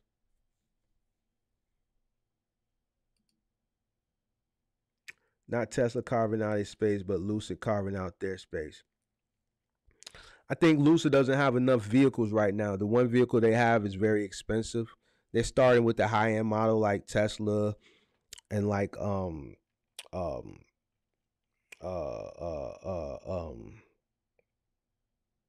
damn what's the car that came out in 2012 they only made it one year but you know um these companies start out with their high end luxury model uh, now, later on down the line, once Lucid creates an economy model, an SUV, a crossover, yeah, you know, nobody knows what the future holds. But right now, I think Tesla got them. Tesla has them right now because they have a, a couple different products on the market. Um, and then the product that Lucid has, it's a luxury model. And everywhere I've seen it, it's priced over sticker because there's not enough floating out there, right? And just everything is marked up right now. So Tesla is actually lowering the price of their vehicles, you know. So I think Tesla has them right now. Don't know what the future holds, but as Lucid starts eh, putting out different models, more models, then yeah, a possibility that they could um, carve out their space in the market now. As far as pushing them out. Nah, I don't think that that'll happen. though. But can they become the American brand that becomes the first choice? Sure. Sure. I think it's very early on, um, still that you know, uh, you know, there's still a race to who will become the number one American made. You know, as far as being that Ford or that uh, that Chevy, um, you know, as far as the, uh, the the the electric industry is concerned, I think you know Tesla isn't stamped that yet. Lucid could could could take that number one spot for him in the future. I believe so. Yeah, wholeheartedly. Chat GPT is coming to Bing, so it will finally have net access with up to date info. Chat GPT data currently only goes to 2021 with no real time net access net integration is going to be a game changer. Yeah, I don't know if you came in, but I, I think I spoke on that about 20 minutes ago about it coming to Bing and um yeah, I think it is a game changer by it coming to Bing. So Google is trying to catch up. Um and yeah, yeah. It's a game changer. Buy a rumor, sell the news. Exactly. You said it's called Spoke for the cargo van. Yeah, Spoke Logistics. It's a uh, a, um, a medical supply logistics company. So not specimen pharmaceuticals. It's medical supply. So wheelchairs, canes, crutches, beds, walkers, things of that nature. Have you ever had a contractor or employee that you didn't like? If so, how did you handle it? Yeah, a bunch of them. They didn't like me either. Um, nothing. I just, you know, I treated them fairly. I just didn't like them. They a lot of didn't like because they didn't like me, and a lot of them just didn't like me because they wasn't me. You know what I'm saying? Um, I treated them fair, uh, uh, to the most part. You know what I'm saying? I've had situations where you know it just ended, you know, you know. But um, I've never had to fight anybody physically, you know. Had some shower matches, some cussing outs, you know. You fire people, you know. Um, but ultimately, I didn't. As a business person, I didn't let my feelings about this person because they had certain feelings about me get in the way of me making money. I knew that my goal was just I, I need them to make money, right? because if I if I feel a certain type of way, a of person, you know, them making money for the company, which is also ultimately putting money in my pocket, weighs more than me not liking that person for whatever reason. So man, I'm gonna deal with that person because ultimately that body is putting money in my pocket. Um, when it gets to the point where it's just you know we can't work together, then I gotta get rid of you for whatever reason. You know what I'm saying? But ultimately, me not liking an employee for whatever reason, it just I it doesn't. I don't treat them any differently. I'm not gonna lower their morale to go out and do some goofball stuff, which is ultimately gonna cost me money. You know, I still treated them fairly like everybody else. I just didn't care for them for whatever reason, and um,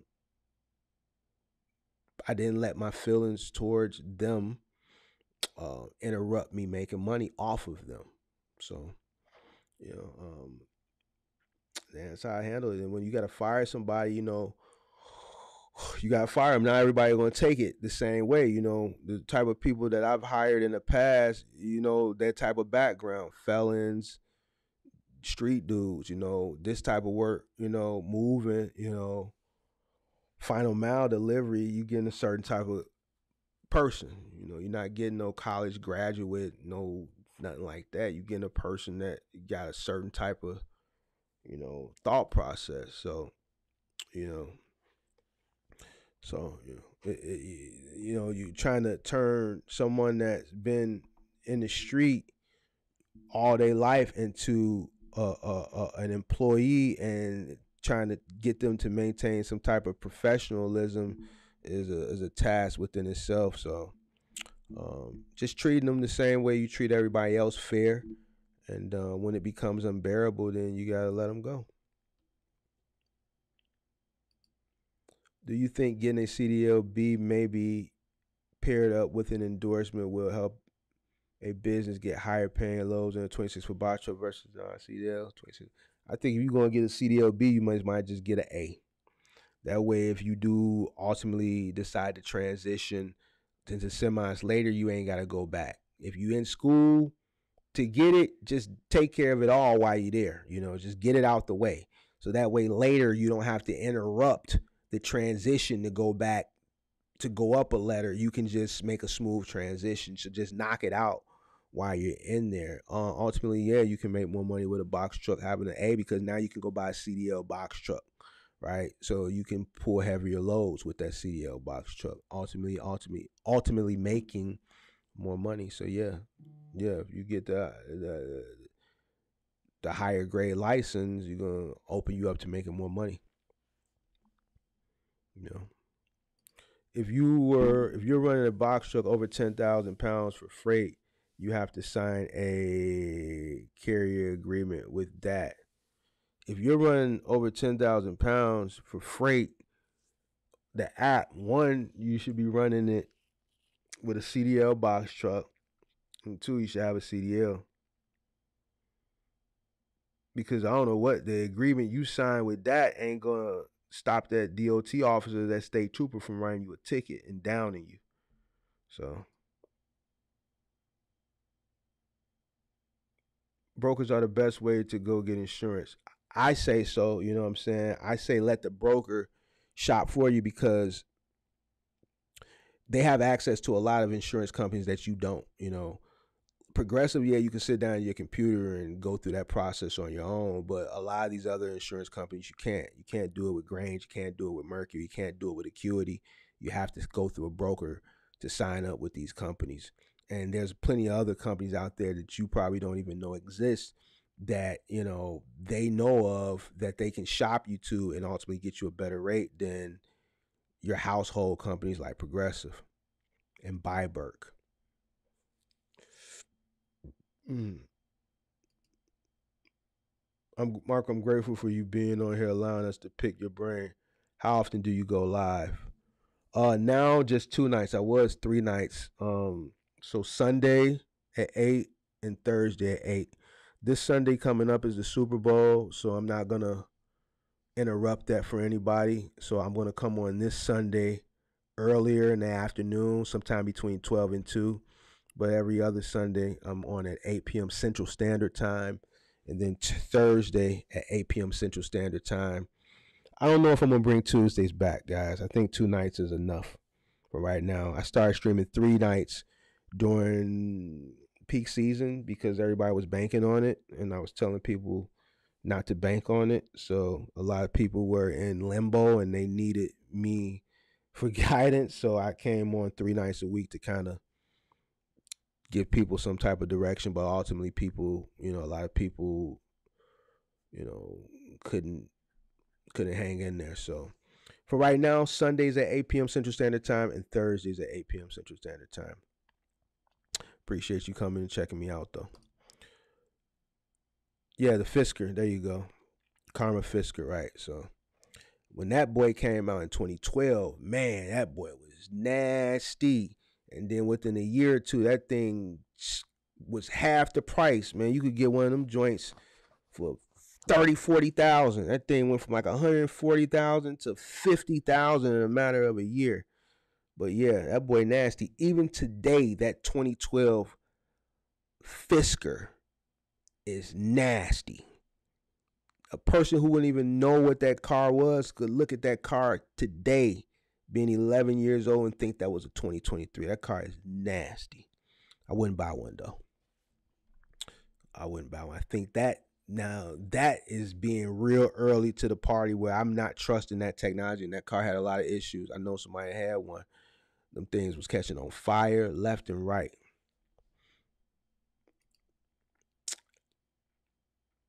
Any cargo companies hiring right now, good pay. All of them. They never stop hiring. No, no logistics company is ever at capacity. They're always hiring. So you pick one, I'll put everything up that they hire. Appreciate you for checking uh, out the live. Appreciate you for checking out the live. To hell with the Super Bowl. I'm trying to get my life to the Super Bowl level. I hear that.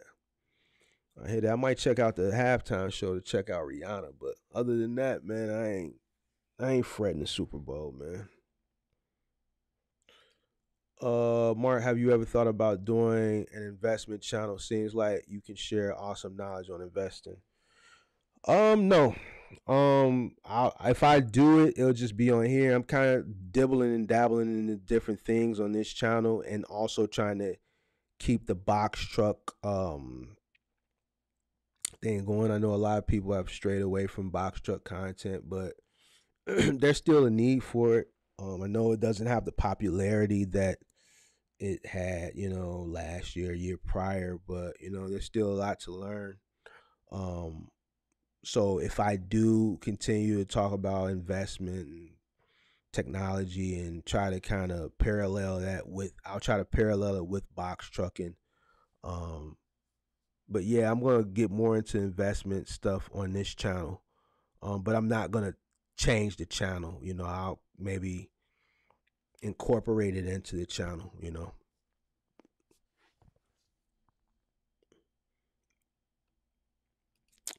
Karma Fisker has updated its lineup. Check it out. They are bouncing back. Yeah, I'm gonna. I'm gonna. I know that they were. They've been working hard over the years. So yeah, I'm gonna. I'm gonna check out the Fisker and see what they have to offer. Um, y'all need to get on that food app for Super Bowl. I'm pretty sure they're gonna be jumping. What food app are you talking about? Oh, you telling people to, for like food delivery for that day? Yeah, people do gig app stuff. Yeah, that probably be uh like Uber Eats and stuff like that. Yeah, I'll definitely probably be jumping that day. Mm-hmm. Yeah, uh, yeah, I'll probably be jumping. Um, as far as money making opportunities, yeah, any deliveries that day. Uh, grocery deliveries probably that morning. So Walmart, Spark, Amazon Relay. I mean Amazon Relay, Amazon Flex. Uh, what are the other Instacart? Yeah, I think all of that stuff that day is gonna be jumping. Yep, yep, yep. So that's one of them days where you can you can cash out. You know what I'm saying, and make the most of it. So yeah, take advantage of that if you do that. Definitely take advantage of that situation.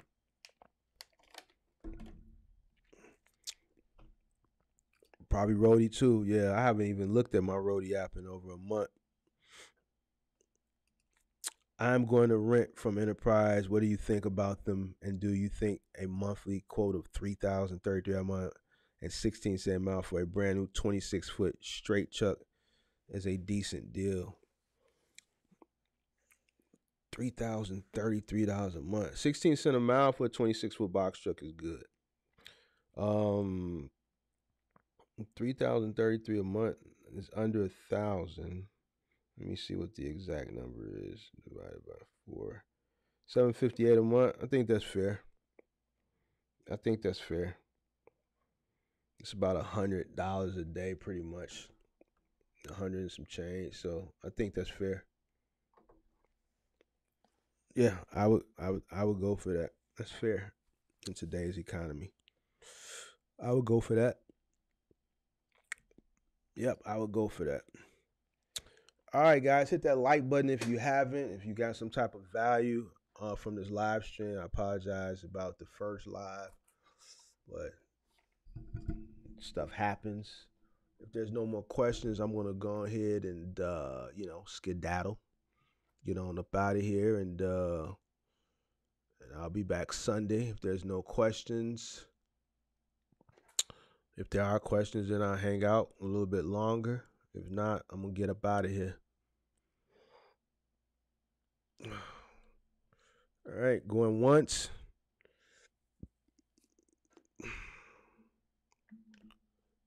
Make sure you hit that like button. Sure, uh, go ahead with your question. Go ahead with your question, Saladin.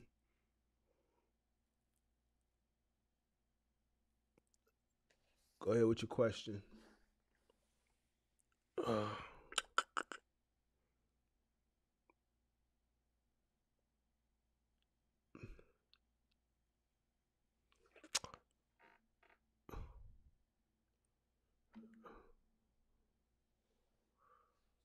Gonna give him a minute to type his question in. Does the owner operator need a medical card? And if so, how do you obtain it? Yeah, you need a medical card. The easiest way uh, you can get one, you can go to Concentra. Go to Concentra. Concentra. Yeah, who's ever gonna be driving, they're gonna need one. Some states you may need a C class license too, a non CDL class C. Um, it's not a class C in every. I think like in some states it's like a class E or whatever. But you guys check with your state regulations. Um, but yeah, you can go to Concentra and get the medical card.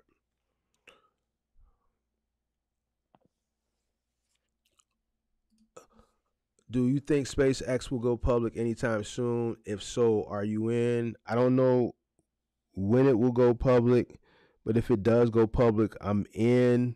I'm not in immediately because you know IPO day it goes up and then the next day it goes down. So I'll wait a little bit, right? And then I would um dollar cost average in. Um and then obviously over time as they increase that that that space technology, um, I'd be making money. But I wouldn't invest. I, I don't. I'm not privy to buy in pre IPO. Now, if I was, if I could buy in pre IPO, then yeah. But since I'm not able to, um, I would buy in after it, it IPOs, you know, and settles at a price, and then I aggressively start dollar cost averaging in.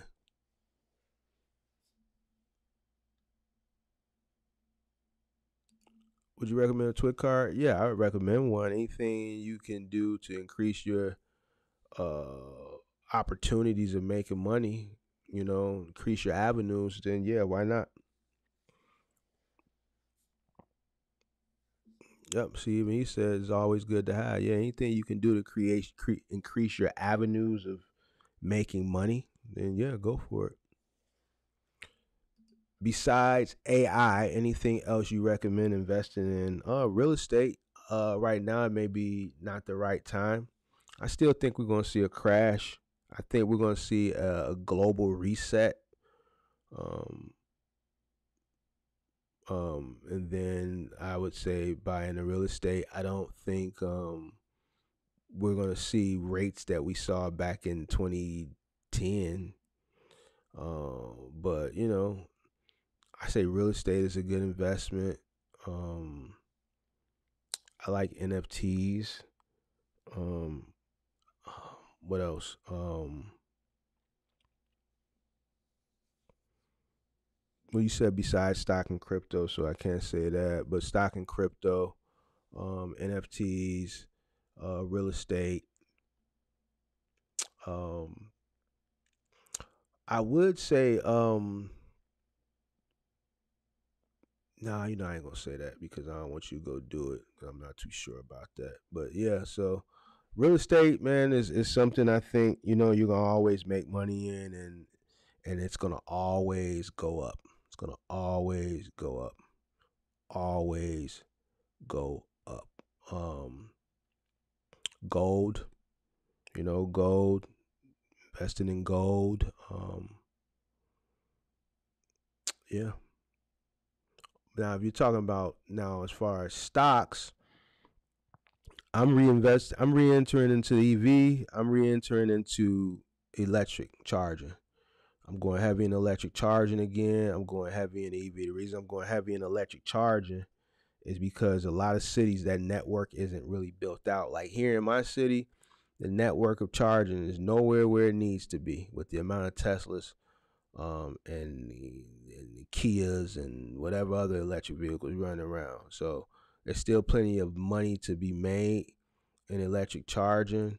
There's still plenty of money to be made in electric vehicles. And the reason why I say you got to remember Joe Biden's infrastructure bill, there is a segment of the infrastructure bill that by 2035, you know, um, manufacturers can't manufacture they can't sell any more gas combustible engine vehicles, right? So we're going to go through another EV bubble, right? As manufacturers reduce their, you know, gas combustible engine um, and create more EV vehicles. So we're going to go through that again. So I'm going to continue to buy into EV vehicle, um, EV stocks.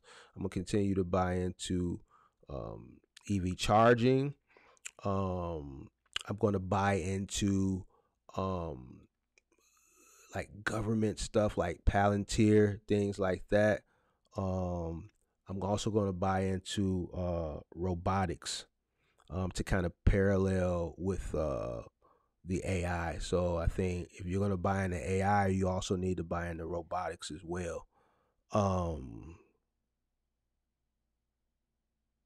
and those are right now what I'm heavily going to start. Well, I'm already doing EV and, and electric vehicle and AI, but I'm going to also start investing into uh, robotics and like government stuff like Palantir. Um, and then uh, always continue to in, invest in your like your common stuff like your your Amazon, your Microsoft, your Google, stuff like that. That stuff automatically goes up over time. So yeah.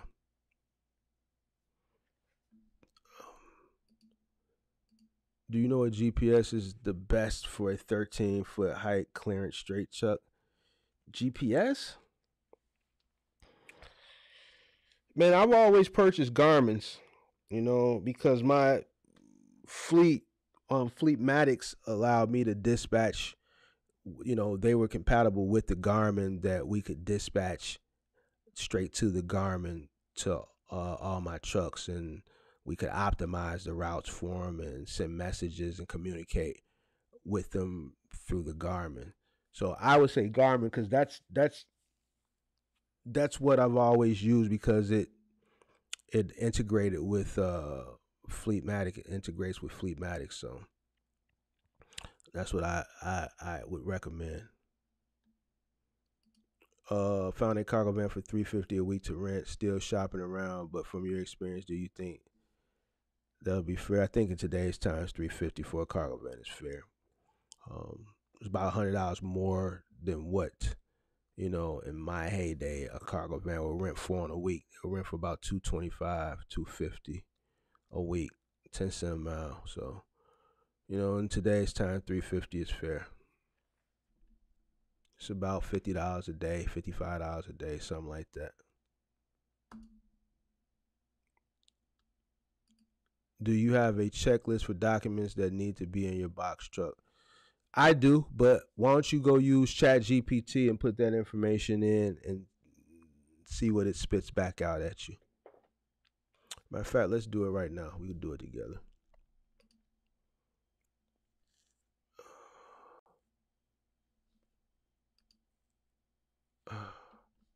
Let's see. Uh, I'm gonna do this real quick, then I'm gonna get out of here. Let's see some. Uh, where's my? Hold on, y'all. Let me pull this up.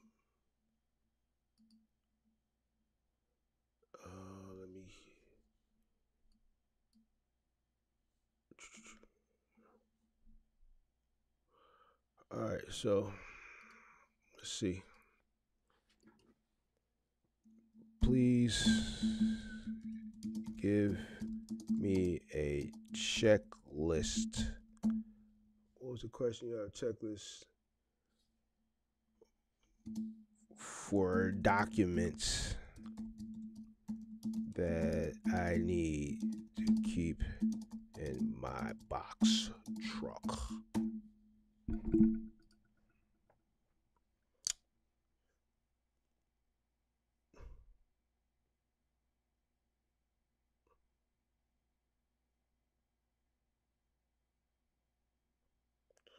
All right, so there you have it. AI is giving you all the information you need.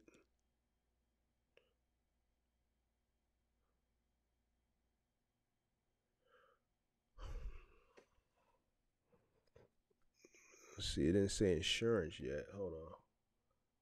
It say insurance yet? Did I miss insurance? Yes, yeah, insurance.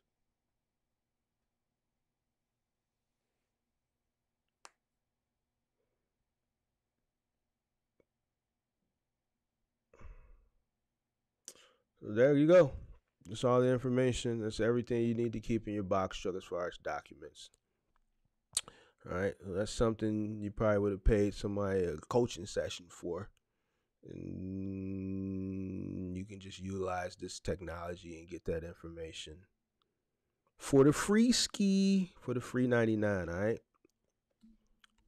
you go for the free 99 nine. All right.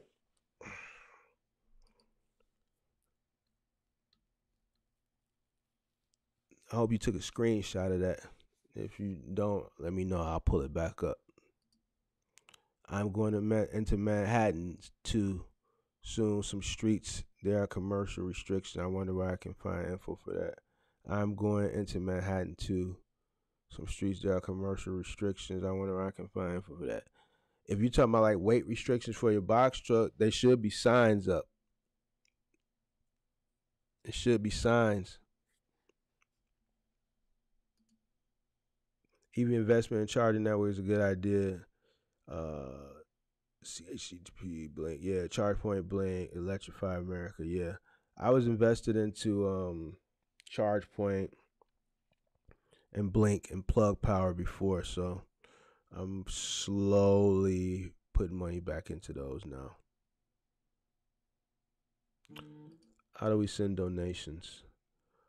Um, man, you don't have to send me nothing, man. I'm good.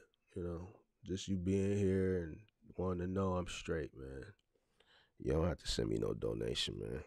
You know, it's all good. I appreciate it though.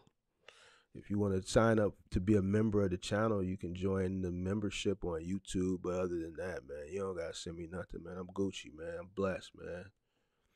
You know, I, you know, it's all good, man. I'm here for y'all, man. You know, the channel. It costs me money to run the channel, but ultimately, you know, it's a write off. You know, I write it off. You know, uh, the money that you know YouTube pays doesn't doesn't it doesn't equate to the time that's spent to the money that I give away to the free mentorships that I do on Sunday to the headsets I send out to people all the other you know gifts that I send out or prizes and things of that nature but you know I appreciate the the the, the gesture but you know you don't have to you don't have to. I don't take donations on this channel man. We we Gucci over here man. We blessed man but I appreciate it though. Uh the future great content mark. Boss up with k appreciate you. Uh mark what do you think about workhorse and lordstown riders investments? Workhorse hey man you know i made money on workhorse but um i didn't make what i should have made. I think workhorse was a bust. Um at what is it three dollars right now? I mean I, you know i probably would never invest back in the workhorse. They didn't get that contract with the united states postal service.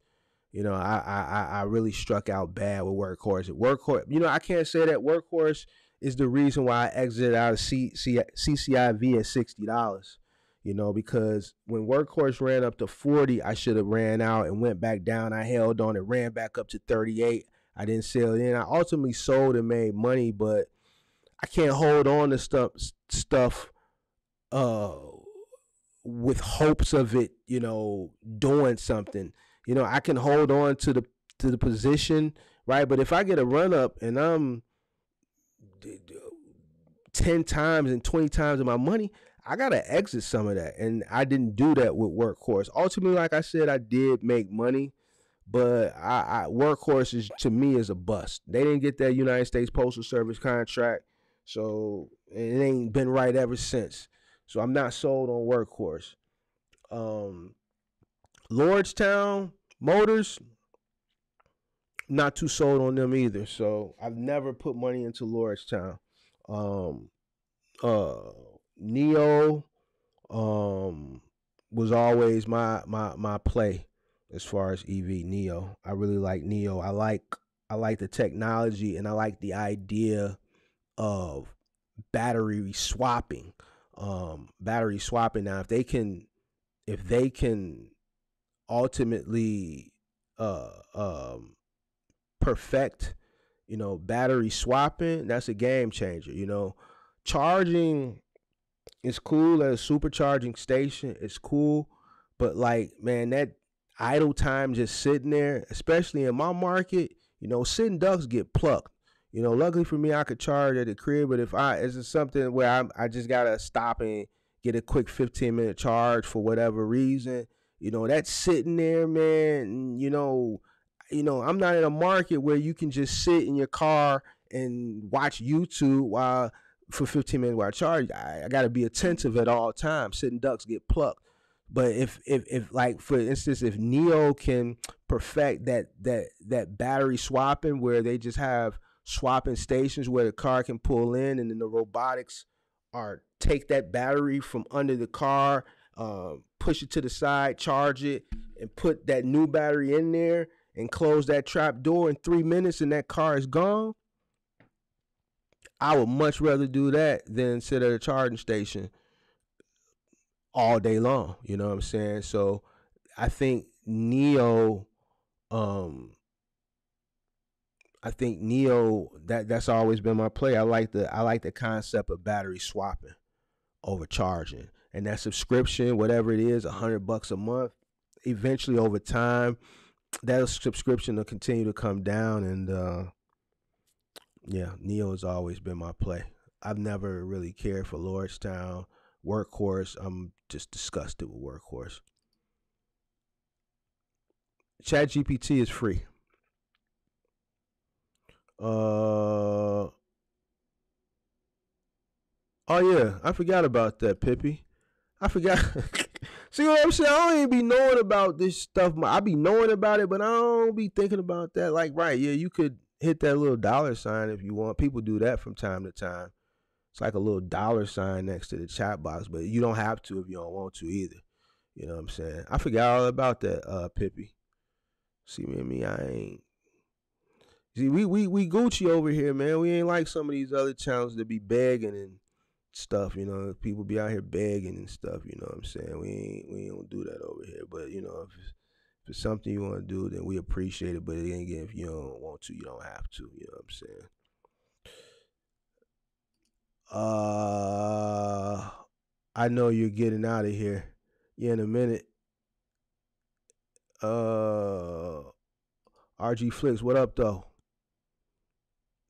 What up though? What up though? How can you use Chat GPT for market research? Just put it in. What do you want to research on and what market? All right, let's see. I did market analysis already for uh for uh box truck business. You probably missed that that part earlier. You probably weren't in here. Uh, let's see. Let me do it real quick. One more again, real quick, man. Let me see something. I think I did it earlier. I did a market analysis. Hold on. Uh, let's see some.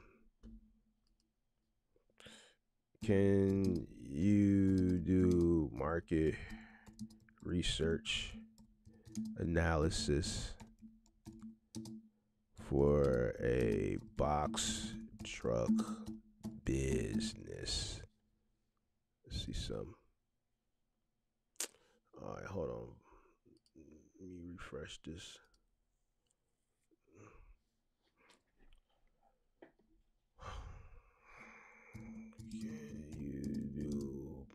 market research analysis for a box truck business.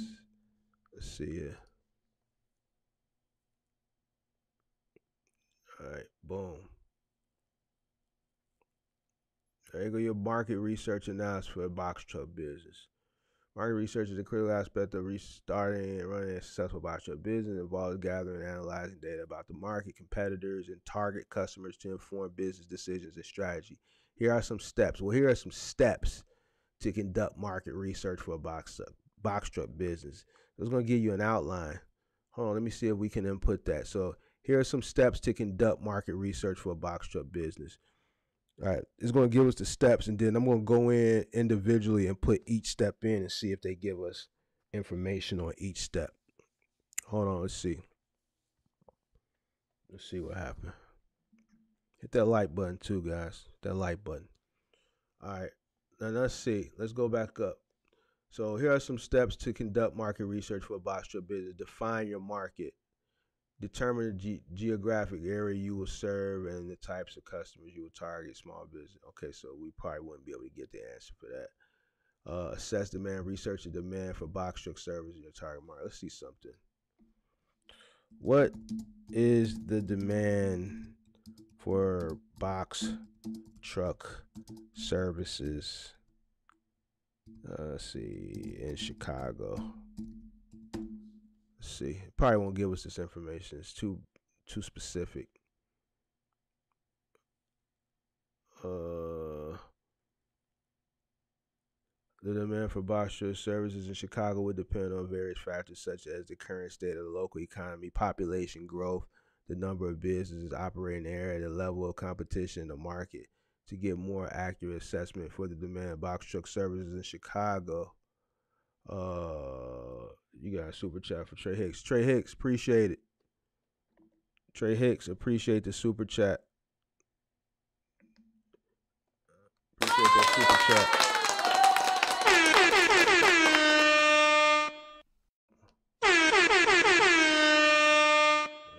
Um. So basically, right here, here's the demand for the box truck services. So then, what I would do is to get more accurate assessment of the demand for truck service in Chicago, I would recommend conducting primary research through surveys and customer interviews, as well as secondary research as government data industry reports. So basically, starting out with these top factors, local economy, I would put in, uh, let's see, what is the current, what is the current population growth of Chicago? Let's see.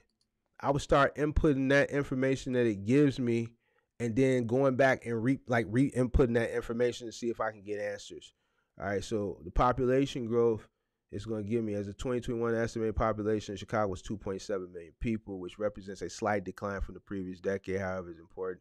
All right, so you know we're dealing with 2.7. It's probably a little bit more or less because this is information for 2021. Uh, then we would get the number of businesses operating in the area.